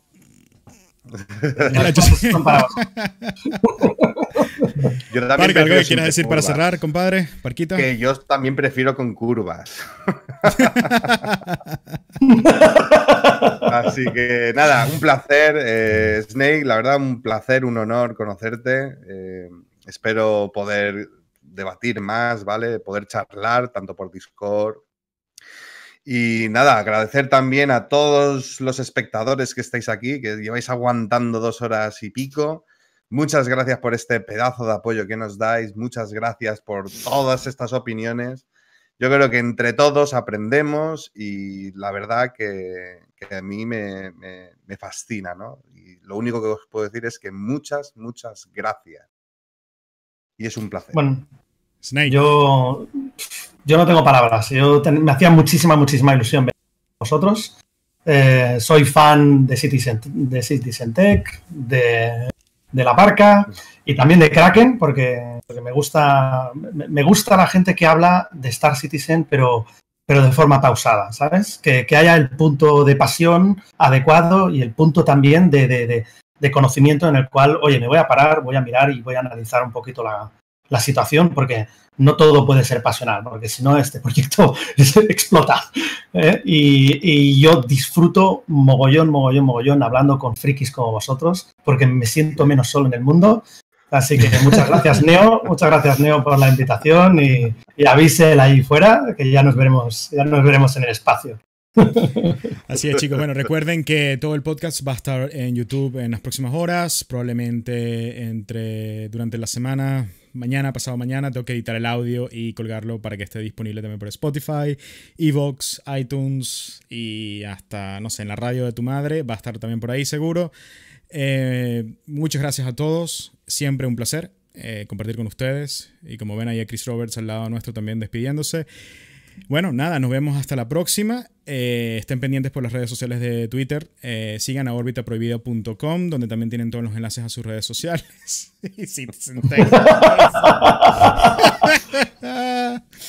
Ahí está, muy bien. Así que chicos, de verdad que muchas gracias siempre, de verdad que uno se divierte aquí un montón hablando y como dice Snake, eh, hablando de esta manera y conversando con todos ustedes. Bueno chicos, nos vemos y bueno, nos vemos por ahí. Hasta luego. Hasta luego. Hasta luego.